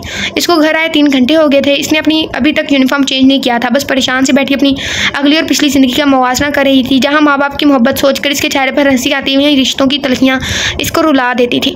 वो परेशान सी अपनी ज़िंदगी के बारे में सोचती रही। माँ बाप के मन ने इसकी ज़िंदगी में रुशनार के अलावा इसको ऐसी याद नहीं दिया था। इसकी ज़िंदगी में कोई लम्हा अच्छा नहीं था। और निकाह के बाद जो दुखी से सॉरी रुशनार ने दिया, वो इसके बारे में सोचती रही, लेकिन वो भी इस रात इसकी साथ को तार तार कर गया। इसकी बातें इसके दिल इसके रवैये से भूलता नहीं था। किसी अन्नी की तरह इसके दिल में चुपता हुआ था, वो भूल नहीं सकती थी। वो अपनी ज़िंदगी के बारे में फ़ैसला तो तब करती ना, जब इसका दिल मज़बूत होता। वो अंदर से रिश्तों की खुदगर्जियों में तना तनाई सॉरी, नहाई। तलखियों से भरपूर लड़की थी। इसकी ज़िंदगी बस नहा, नाम की ज़िंदगी थी। मगरब की आसान हुई तो वो सारी पुरानी यादों से पीछा छड़ाती उठ खड़ी हुई थी। क्योंकि जो होना था, वो होकर रहना था। वो इसे जुटला नहीं सकती। अब बस इसे कल कॉलेज में जाने से डर लग रहा था। रुशनाल की मार से इसके गुस्से सोच कर वो सहमी हुई थी। लेकिन फिर कुछ सोचती, अपने धड़कते दिल को संभालती नमाज़ के लिए उठी थी। नमाज़ पढ़ के कुछ तस्बीहात पढ़, मुकम्मल करके उठी और नमाज़ अदा करके किचन में चली गई जो इसकी रोज़ की रूटीन थी। रुशनाल, यार, आज आज आ किसी अच्छे से ढाबे से चाय पीते हैं। वो लैपटॉप बंद करके बैग में डाल रहा था घर जाने के लिए। जब फुरकान जिया ने डोर नॉक करके इसे पुकारा था ओके चलते हैं। ये कहकर इसने बैग पीछे उठाया था और इसके साथ निकल पड़ा। वो इसके साथ निकला था और फिर दोनों ढाबे में आकर गपशप लगाने लगे साथ में चाय पीने लगे। भाभी तेरे साथ खुश तो है ना? वो इस पर निखार डालता मशकूक सा बोला था। हम्म, वो महज हूँ मैं सर हिलाता हुआ बोला बेटा तेरे चेहरे से पता चल रहा है वो तो खुश है पर तू खुश नहीं है। वो इसके चेहरे के बिगड़े तासरात नोट करता तंजिया लहजे में बोला था यार वो मेरे साथ रहना ही नहीं चाहती। मैं इसके पास से भी गुजरूँ तो इसके लहजे में हकारत होती है। मैं इसकी तरफ़ देखूँ भी तो इसका बस नहीं चलता, मेरी आँखें निकाले मैं इसकी ज़ात को डिस्कस नहीं कर रहा तेरे साथ, लेकिन जिगर सिर्फ़ साफ़ बताऊँ, वो मुझसे किनारा कशी करना चाहती है। मैं इसे छोड़ना नहीं चाहता, लेकिन वो मेरे साथ रहना नहीं चाहती। रुशनाल धीमा लहजा लिए बोला था। ये बात तुझसे खूब, खुद भाभी ने कही है। वो चाय की आखिरी चुस्की लिए बोला। इसकी आँखों ने बताई है। वो चाय के कप के साथ हल्की सी उंगली बजाते अजियतनाक लहजे में बोला था। जैसे अपना दर्द छुपाना चाह रहा हो। मेरे सामने तो तू राजा, रांझा बन जाता है, ज़रा ये बेकरारी भाभी को दिखा। वो इसको डांटता हंस कर बोला था, यार, मैं मैं हूँ ही ऐसा, मुझसे मीठे लहजे में बेकरारी नहीं दिखाई जाती, और ये मिठास मेरी ज़िंदगी का हिस्सा नहीं है। वो बेस बस सा बोला था, तुझे पता है, मेरी शादी को ग्यारह साल हो गए हैं, छठे साल में एक दिन मैंने तेरी भाभी को गुस्से में थप्पड़ मारा था। इसे एक बदले के, सॉरी, बदले के थप्पड़ में वो पूरा महीना महके रही थी। मेरे सालों ने अलायदा से बेइज्जत किया। सुसर ने तो इतनी इज़्ज़त की कि आज तक भूल नहीं सकता। लेकिन फिर भी वो इस थप्पड़ को नहीं भूली। वो अभी तक इस थप्पड़ के बदले लेती है। वो इस एक थप्पड़ को नहीं भूल पा रही कीको तो यही नोटों को नरमी से पत्थर फूल लगता है। और गुस्से से मारा गया फूल भी पत्थर लगता है। वह भूल नहीं सकती। औरतें मीठे लहजों की महबूब होती हैं। इनकी नरमी से इनको नरमी से चलाना पड़ता है। सख्ती से बात करो तो वह टूट जाती हैं। औरत अपने शोहर पर ही गुस्सा करती है। इसके सामने रोती है। अपना आप इसे मनवाती है। सच बात, में तेरी भाभी से नहीं डरता। इसकी नाराज़गी से डरता हूँ। और औरत भी लड़ झगड़ कर अपना आप मनवाती है। इसे पता होता है कि इसका शोहर इसकी बात सुनेगा, समझेगा, क्योंकि इसे इस पर मान होता है। पर तू मेरी बात नहीं समझेगा। यार कसम से, तेरी कहानी सुनकर मुझे रोना आ गया है। पर पहले फ़ोन उठा ले, फिर मुझे लेक्चर दे देना। अपने इस लेक्चर के चक्कर में यही भूल गया कि पिछले पाँच मिनट से तेरा फ़ोन बच रहा है। रशनार को इसकी बातें दिल में खुबती हुई महसूस हुई थी, पर इसने मज़ाक में टाल दिया था। कुछ देर में वो इसके साथ ही घर के लिए निकला था। वो आज नॉर्मल मूड में घर आया था। लैपटॉप कमरे में रखता, वो बाहर लॉन्च में आकर बैठ गया था। किचन में में से खाने की इश्तिहार अंगेज खुशबू आ रही थी। लेकिन वो किचन में कहीं नहीं थी। हमेशा की तरह गायब थी। इसे पता था वो नमाज़ से ईशा पढ़ रही होगी। इसलिए खमोशी खामोशा सोफे पर अपने बाजू को सर के पीछे रखकर लेटने वाले अंदाज में बैठा और आँखें मूंद ली थी। इसकी एक झलक देखने के लिए वो बाहर बैठा हुआ था, लेकिन वो थी, निकलने का नाम ही नहीं ले रही थी। कुछ सोचता हुआ उठा था और इसके रूम में चला आया जो नमाज़ पढ़कर फारिग हुई थी, इसको अंदर आता देखकर भूएँ चढ़ा गई थी। आपको नौकर के आना चाहिए था? ऐसे किसी की इजाज़त के बिना अंदर नहीं आना चाहिए। वह नमाज़ को तय करते हुए संजीदगी से बोलने लगी थी, ओ, हेलो मोहतरमा, किसी का तो नहीं, सॉरी, किसी का तो कह सकता हूँ कि नौकर के जाना चाहिए, लेकिन तुम मेरी बीवी हो। तुम मेरी ज़िंदगी में बिना दस्तक के घुस आई हो। मैं बड़ी मुश्किल से तुम्हें कबूल कर रहा हूँ। इसका लहजा में शरारत थी तो दे दे तलाक ना करे कबूल। चल। तुम हँसते हँसते ही बोल लेते तो ज़्यादा बेहतर नहीं था बेटा। वो फट पड़ी थी। सुबह के वाक्य को सोचकर वो पहले परेशान थी, अब इसकी बात पे वो बर्दाश्त नहीं कर पाई। वो बोल पड़ी थी अपनी सॉरी ज़ात की तस्लील पर आँखों से आँसू निकले थे। मज़ाक कर रहा हूँ यार, हर वक्त खफा खफा क्यों रहती हो? वो इसके रोए हुए गुलाबी चेहरे को देखकर मैं भूत होकर रह गया। वो इसकी तरफ़ बढ़ा था। आपके लिए खाना बना दूँ? भूख लग रही होगी ना आपको? वो उसको अपनी तरफ़ आता देख रही कहकर संजीदगी से बाहर निकल गई, जबकि रुशनार इसके ऐसे रवैये पर पीछ गया था और दरवाजे की तरफ़ देखने लग पड़ा जहाँ से वो गुजर कर गई थी, वो फ्रेश होकर किचन में चला आया था और आहिस्तगी से चलता टेबल पर बैठ गया था रुशनार इसको देखने लगा, जिसका दुपट्टा तो हर वक्त उसके चेहरे पर होता था। इसने एक मिनट भी इसे मुड़कर नहीं देखा था। इसकी खामोशी से खिल रही थी। ऐसी खामोशी तो पहले कभी नहीं हुई थी। वो सालन और चपाती इसके मुँह मुँह के आगे नहीं, इसके आगे आई थिंक रखती हट गई थी। ये नए स्टाइल का दुपट्टा कहाँ से सीखा है? ऐसा लगता है जैसे कॉलेज में शोहरों से पर्दा करवाने का तरीका बताते रहे आज। वो एक तरफ़ से ढके गाल को देखते हुए बोला था, इसकी खामोशी को तोड़ने की खातर लतीफ़ सा तंज किया गया। इसके तंज पर कुछ नहीं बोली थी इसने गाल इसलिए छुपाया था कि इसके चेहरे पर थप्पड़ों के निशान ना देख ले, क्योंकि मैम सना ने इसे जंगलों की सॉरी जंगलियों की तरह मारा था। इसके थप्पड़ों के निशान वेट, निशान है। क्या बातें करिए इसके काल पर थे। इधर आके खाना खाओ मेरे साथ। वो इसको बर्तन समेटता देकर इससे बोला था, मैं खा चुकी हूँ, आप खा लें। वो झूठ तो बोल गई थी, क्योंकि इसे पता था वो शख्स ज़बरदस्ती भी इसे अपने साथ बिठा कर खिलाएगा। इसके बाद वो खामोशी से खाना खाने लगा और उसने सास पैन में पानी रखा था चाय बनाने के लिए। अच्छा बात सुनो, मुझे चाय मेरे कमरे में दे आना। मेरा काम पेंडिंग पड़ा हुआ है, वो करना है। वो ये कहकर चला गया था, जबकि पीछे शनाल गहरी सांस लेती चाय की तरफ़ मुतवजा हुई थी। दस मिनट में वो चाय लिए और नॉक किया था। इसकी इजाज़त पाकर वो अंदर आई, जब वो बहुत ही बिज़ी दिखाई दे रहा था। चाय रखकर जाने लगी जब वो बोला था आज तुम्हारे कॉलेज से फ़ोन आया था। कल बुलवाया है कॉलेज में। कोई मीटिंग वगैरह तो नहीं है? वो इस पर लैपटॉप से नज़रें उठाकर गंभीर भारी लहजे में बोला था जी, वो हैरानगी से कांपता दिल ये मुड़ी और इसे देखा। अशनाल वक्त की भारी मगर गंभीर आवाज़ सुनकर इसका नन्ना सा दिल खौफ से कांपा था। इसका सर जो पहले ही घूम रहा था, इसकी बात सुनकर वो अपना सर हाथों में थाम गई थी। इससे पहले वो गिरती जो रोशनाल वक्त जल्दी से बैठ से उठा। इसकी उठती रंगत देखकर इसने इसे बाजू में थाम लिया था। शनाल अश क्या हुआ है? इसके चेहरे को कता इसे बेड पर बिठा गया था उसकी उड़ी रंगत इसका खौफ से पीला पड़ता चेहरा देखकर बुखला गया था। इसको पानी पिलाया था कि इसके चेहरे की रंगत बहाल हो। वो समझ नहीं पा रहा था वो डर क्यों रही है? अब ठीक हो? इसकी थोड़ी सी हाल, बेहतर हालत देखकर वो नरम लहजे में बोलने लगा था प्लीज़ छोड़े मुझे मैंने सोना है। वो जीप सा हजान से लहजे में बोली थी। इधर, आज इधर ही सो जा, मैं सोफे पर सो जाऊँगा। इसके तीखे चेहरे पर निगाहें डालते हुए बोला, नहीं, मैंने अपने रूम में सोना है। वो कतरा कर इसकी ग्रिप से निकलने के लिए मचली थी। मैं क्या बकवास कर रहा हूँ? नरमी की जबान तो समझना तुम पर गुनाह है। लेट जाओ सुकून से। नहीं कह रहा कुछ तुम्हें। महाफिज हूँ तुम्हारा लुटेरा नहीं। अपनी सर दांके इस पर जमात इतनी सख्ती से बोला, शनाल काम कर रहती थी। चलो सो जाओ। इसको कामता देखकर इस अब की बार नरमी से बोला, इस पर इसे बेड पर लटाता इस पर कंफर्टर उठाकर खुद सोफे पर बैठ गया था, जबकि शनाल इसके पल बदल पल पल बदलते लहजे को देखकर अंदर से बहुत खूबसूरत थी। वो लैंप की लाइट को ऑन करता और कमरे की लाइट ऑफ़ करता। लैपटॉप संभालता और सोफे पर लेट गया था शनाल परेशानी से इसको देखती रही, जिसने अपनी आँखें मूंदती हुई थी, जबकि इसे पता था इसकी सारी रात बेचैन से गुजरनी थी। वो गलत नहीं थी। इर्द गिर्द माहौल में बसने वाले लोग गलत थे। वो परेशान थी। वो शख्स इसके सामने तो था, लेकिन इसके पास नहीं था। इसे शख्स की ज़रूरत थी, लेकिन वो अपनी इज़्ज़त नफ्स को कायम रखने वाली लड़की थी। वो कभी इसे ये नहीं कह सकती थी और मेरी ज़िंदगी खजा, ज़िंदगी में खजा के फूल फूल लगा हालाँकि इसे पता था, इस शख्स की आँखों में इसे मोहब्बत नज़र आती थी। पूरे दिन से सोच सोच कर इसका दिल घबराया जा रहा था, इसका दिल बंद होने लगा था, इसने दुपट्टा उतार कर साथ रख रख दिया था, फिर भी चलते दिल को सुकून ही आ रहा था। इसे बस यही खौफ खाने जा रहा था कि जब रोशनाल को पता चलेगा, वो तो इसे जान से मार डालेगा। वो इस तरह भी कैफियत में उठ बैठी, लेकिन सुकून नहीं मिला तो फिर लेट गई। वो बेचैन थी, लेकिन इसे सुकून ही मिल रहा था। वो बार बार उठ बैठती और बार बार लेटती। रोशनाल की आँख खुली तो इसे बेचैन देखकर वो बेसकून हो गया था। वो मसलसल एक घंटे से लेटती और बैठती। रोशनाल तब से देख रहा था। अब वो लेटती हुई थी। इससे समझ नहीं आ रहा था कि इसकी बेचैनी की वजह क्या है। इसने जो बाजू आँखों पर रखे थे, वो सीने पर बाँध बाँध दिए थे। वैसे देखने लग पड़ा था। शनाल जो अपनी सोचों से निकली, इसकी तरफ़ देखा तो देखा दो बार लिखा इसकी तरफ़ देखा तो धक से रह रह गई। वो भी इसे ही देख रहा था। एक लम्हे में दोनों की नज़रें चार हुई थी। अशनाल की नज़र लम्हे भर को इसकी नज़रों से मिली थी। करब, नारसाई, दुख, परेशानी, बेवसी, क्या कुछ नहीं था इसकी, उसे एक नज़र में। वो इससे शुरू से जानता था। इसकी निगाहों से तकाज़ों से खाइफ होती थी वो। फिलफोर अपनी नज़रों को बदल गई थी। इसकी डार्क ब्राउन आँखों में मायनी शेर सी चमक थी।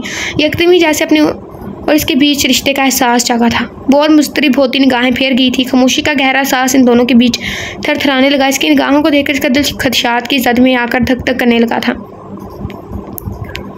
वो इसको मुसलसल करवटें बदलता देख रहा था, जो बहुत ही बेचैन लग रही थी, जैसे इसको कोई गम हो, रहा हो, और वो बता ना पा रही हो। वो इसकी तरफ़ देखता, वो करवट बदल गई। रुशनाल की तरफ़ इसकी पुश्त थी। वो इसकी बेचैन देखते उठा और म्याना रवि सी चाल चलता इसके पास आकर बेड पर बैठ गया था।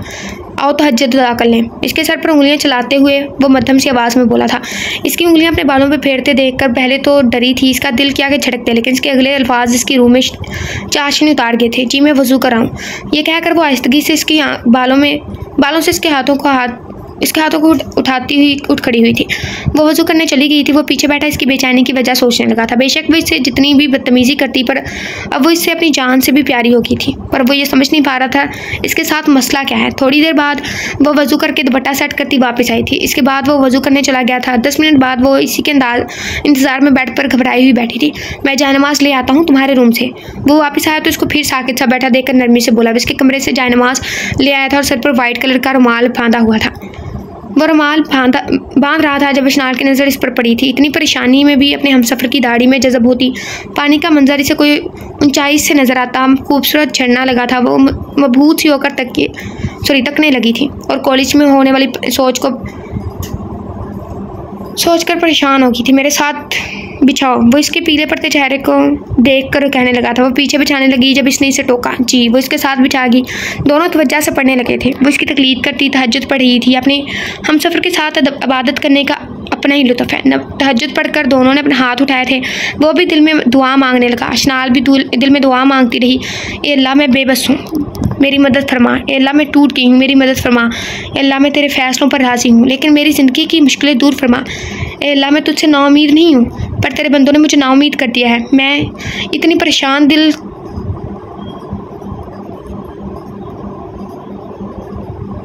मेरा दिल इतना परेशान है कि मैं खुद के साथ कुछ कर लूँगी। गलत लिखा हुआ है। छोटी सी उम्र में ज़िंदगी के उलझनों ने मुझे तिका दिया है। या अल्लाह बेशक खुशियाँ देकर मैं मगरूर होकर तुझे भूल जाऊँ, बस मुझे अपनी रहमतें दे दे, जिनका मैं शुक्र करते करते ना थकूँ। इसने अल्लाह से शिकवा नहीं किया, बस परेशानी से अपने रब के साथ। ओके, अपने रब के साथ दुपट्टा, अपने रब के सामने आना आई थिंक दुपट्टे सर पर रख के चेहरा हाथों में छुपाए रोई थी। अपना गम अल्लाह के सामने हल्का किया था।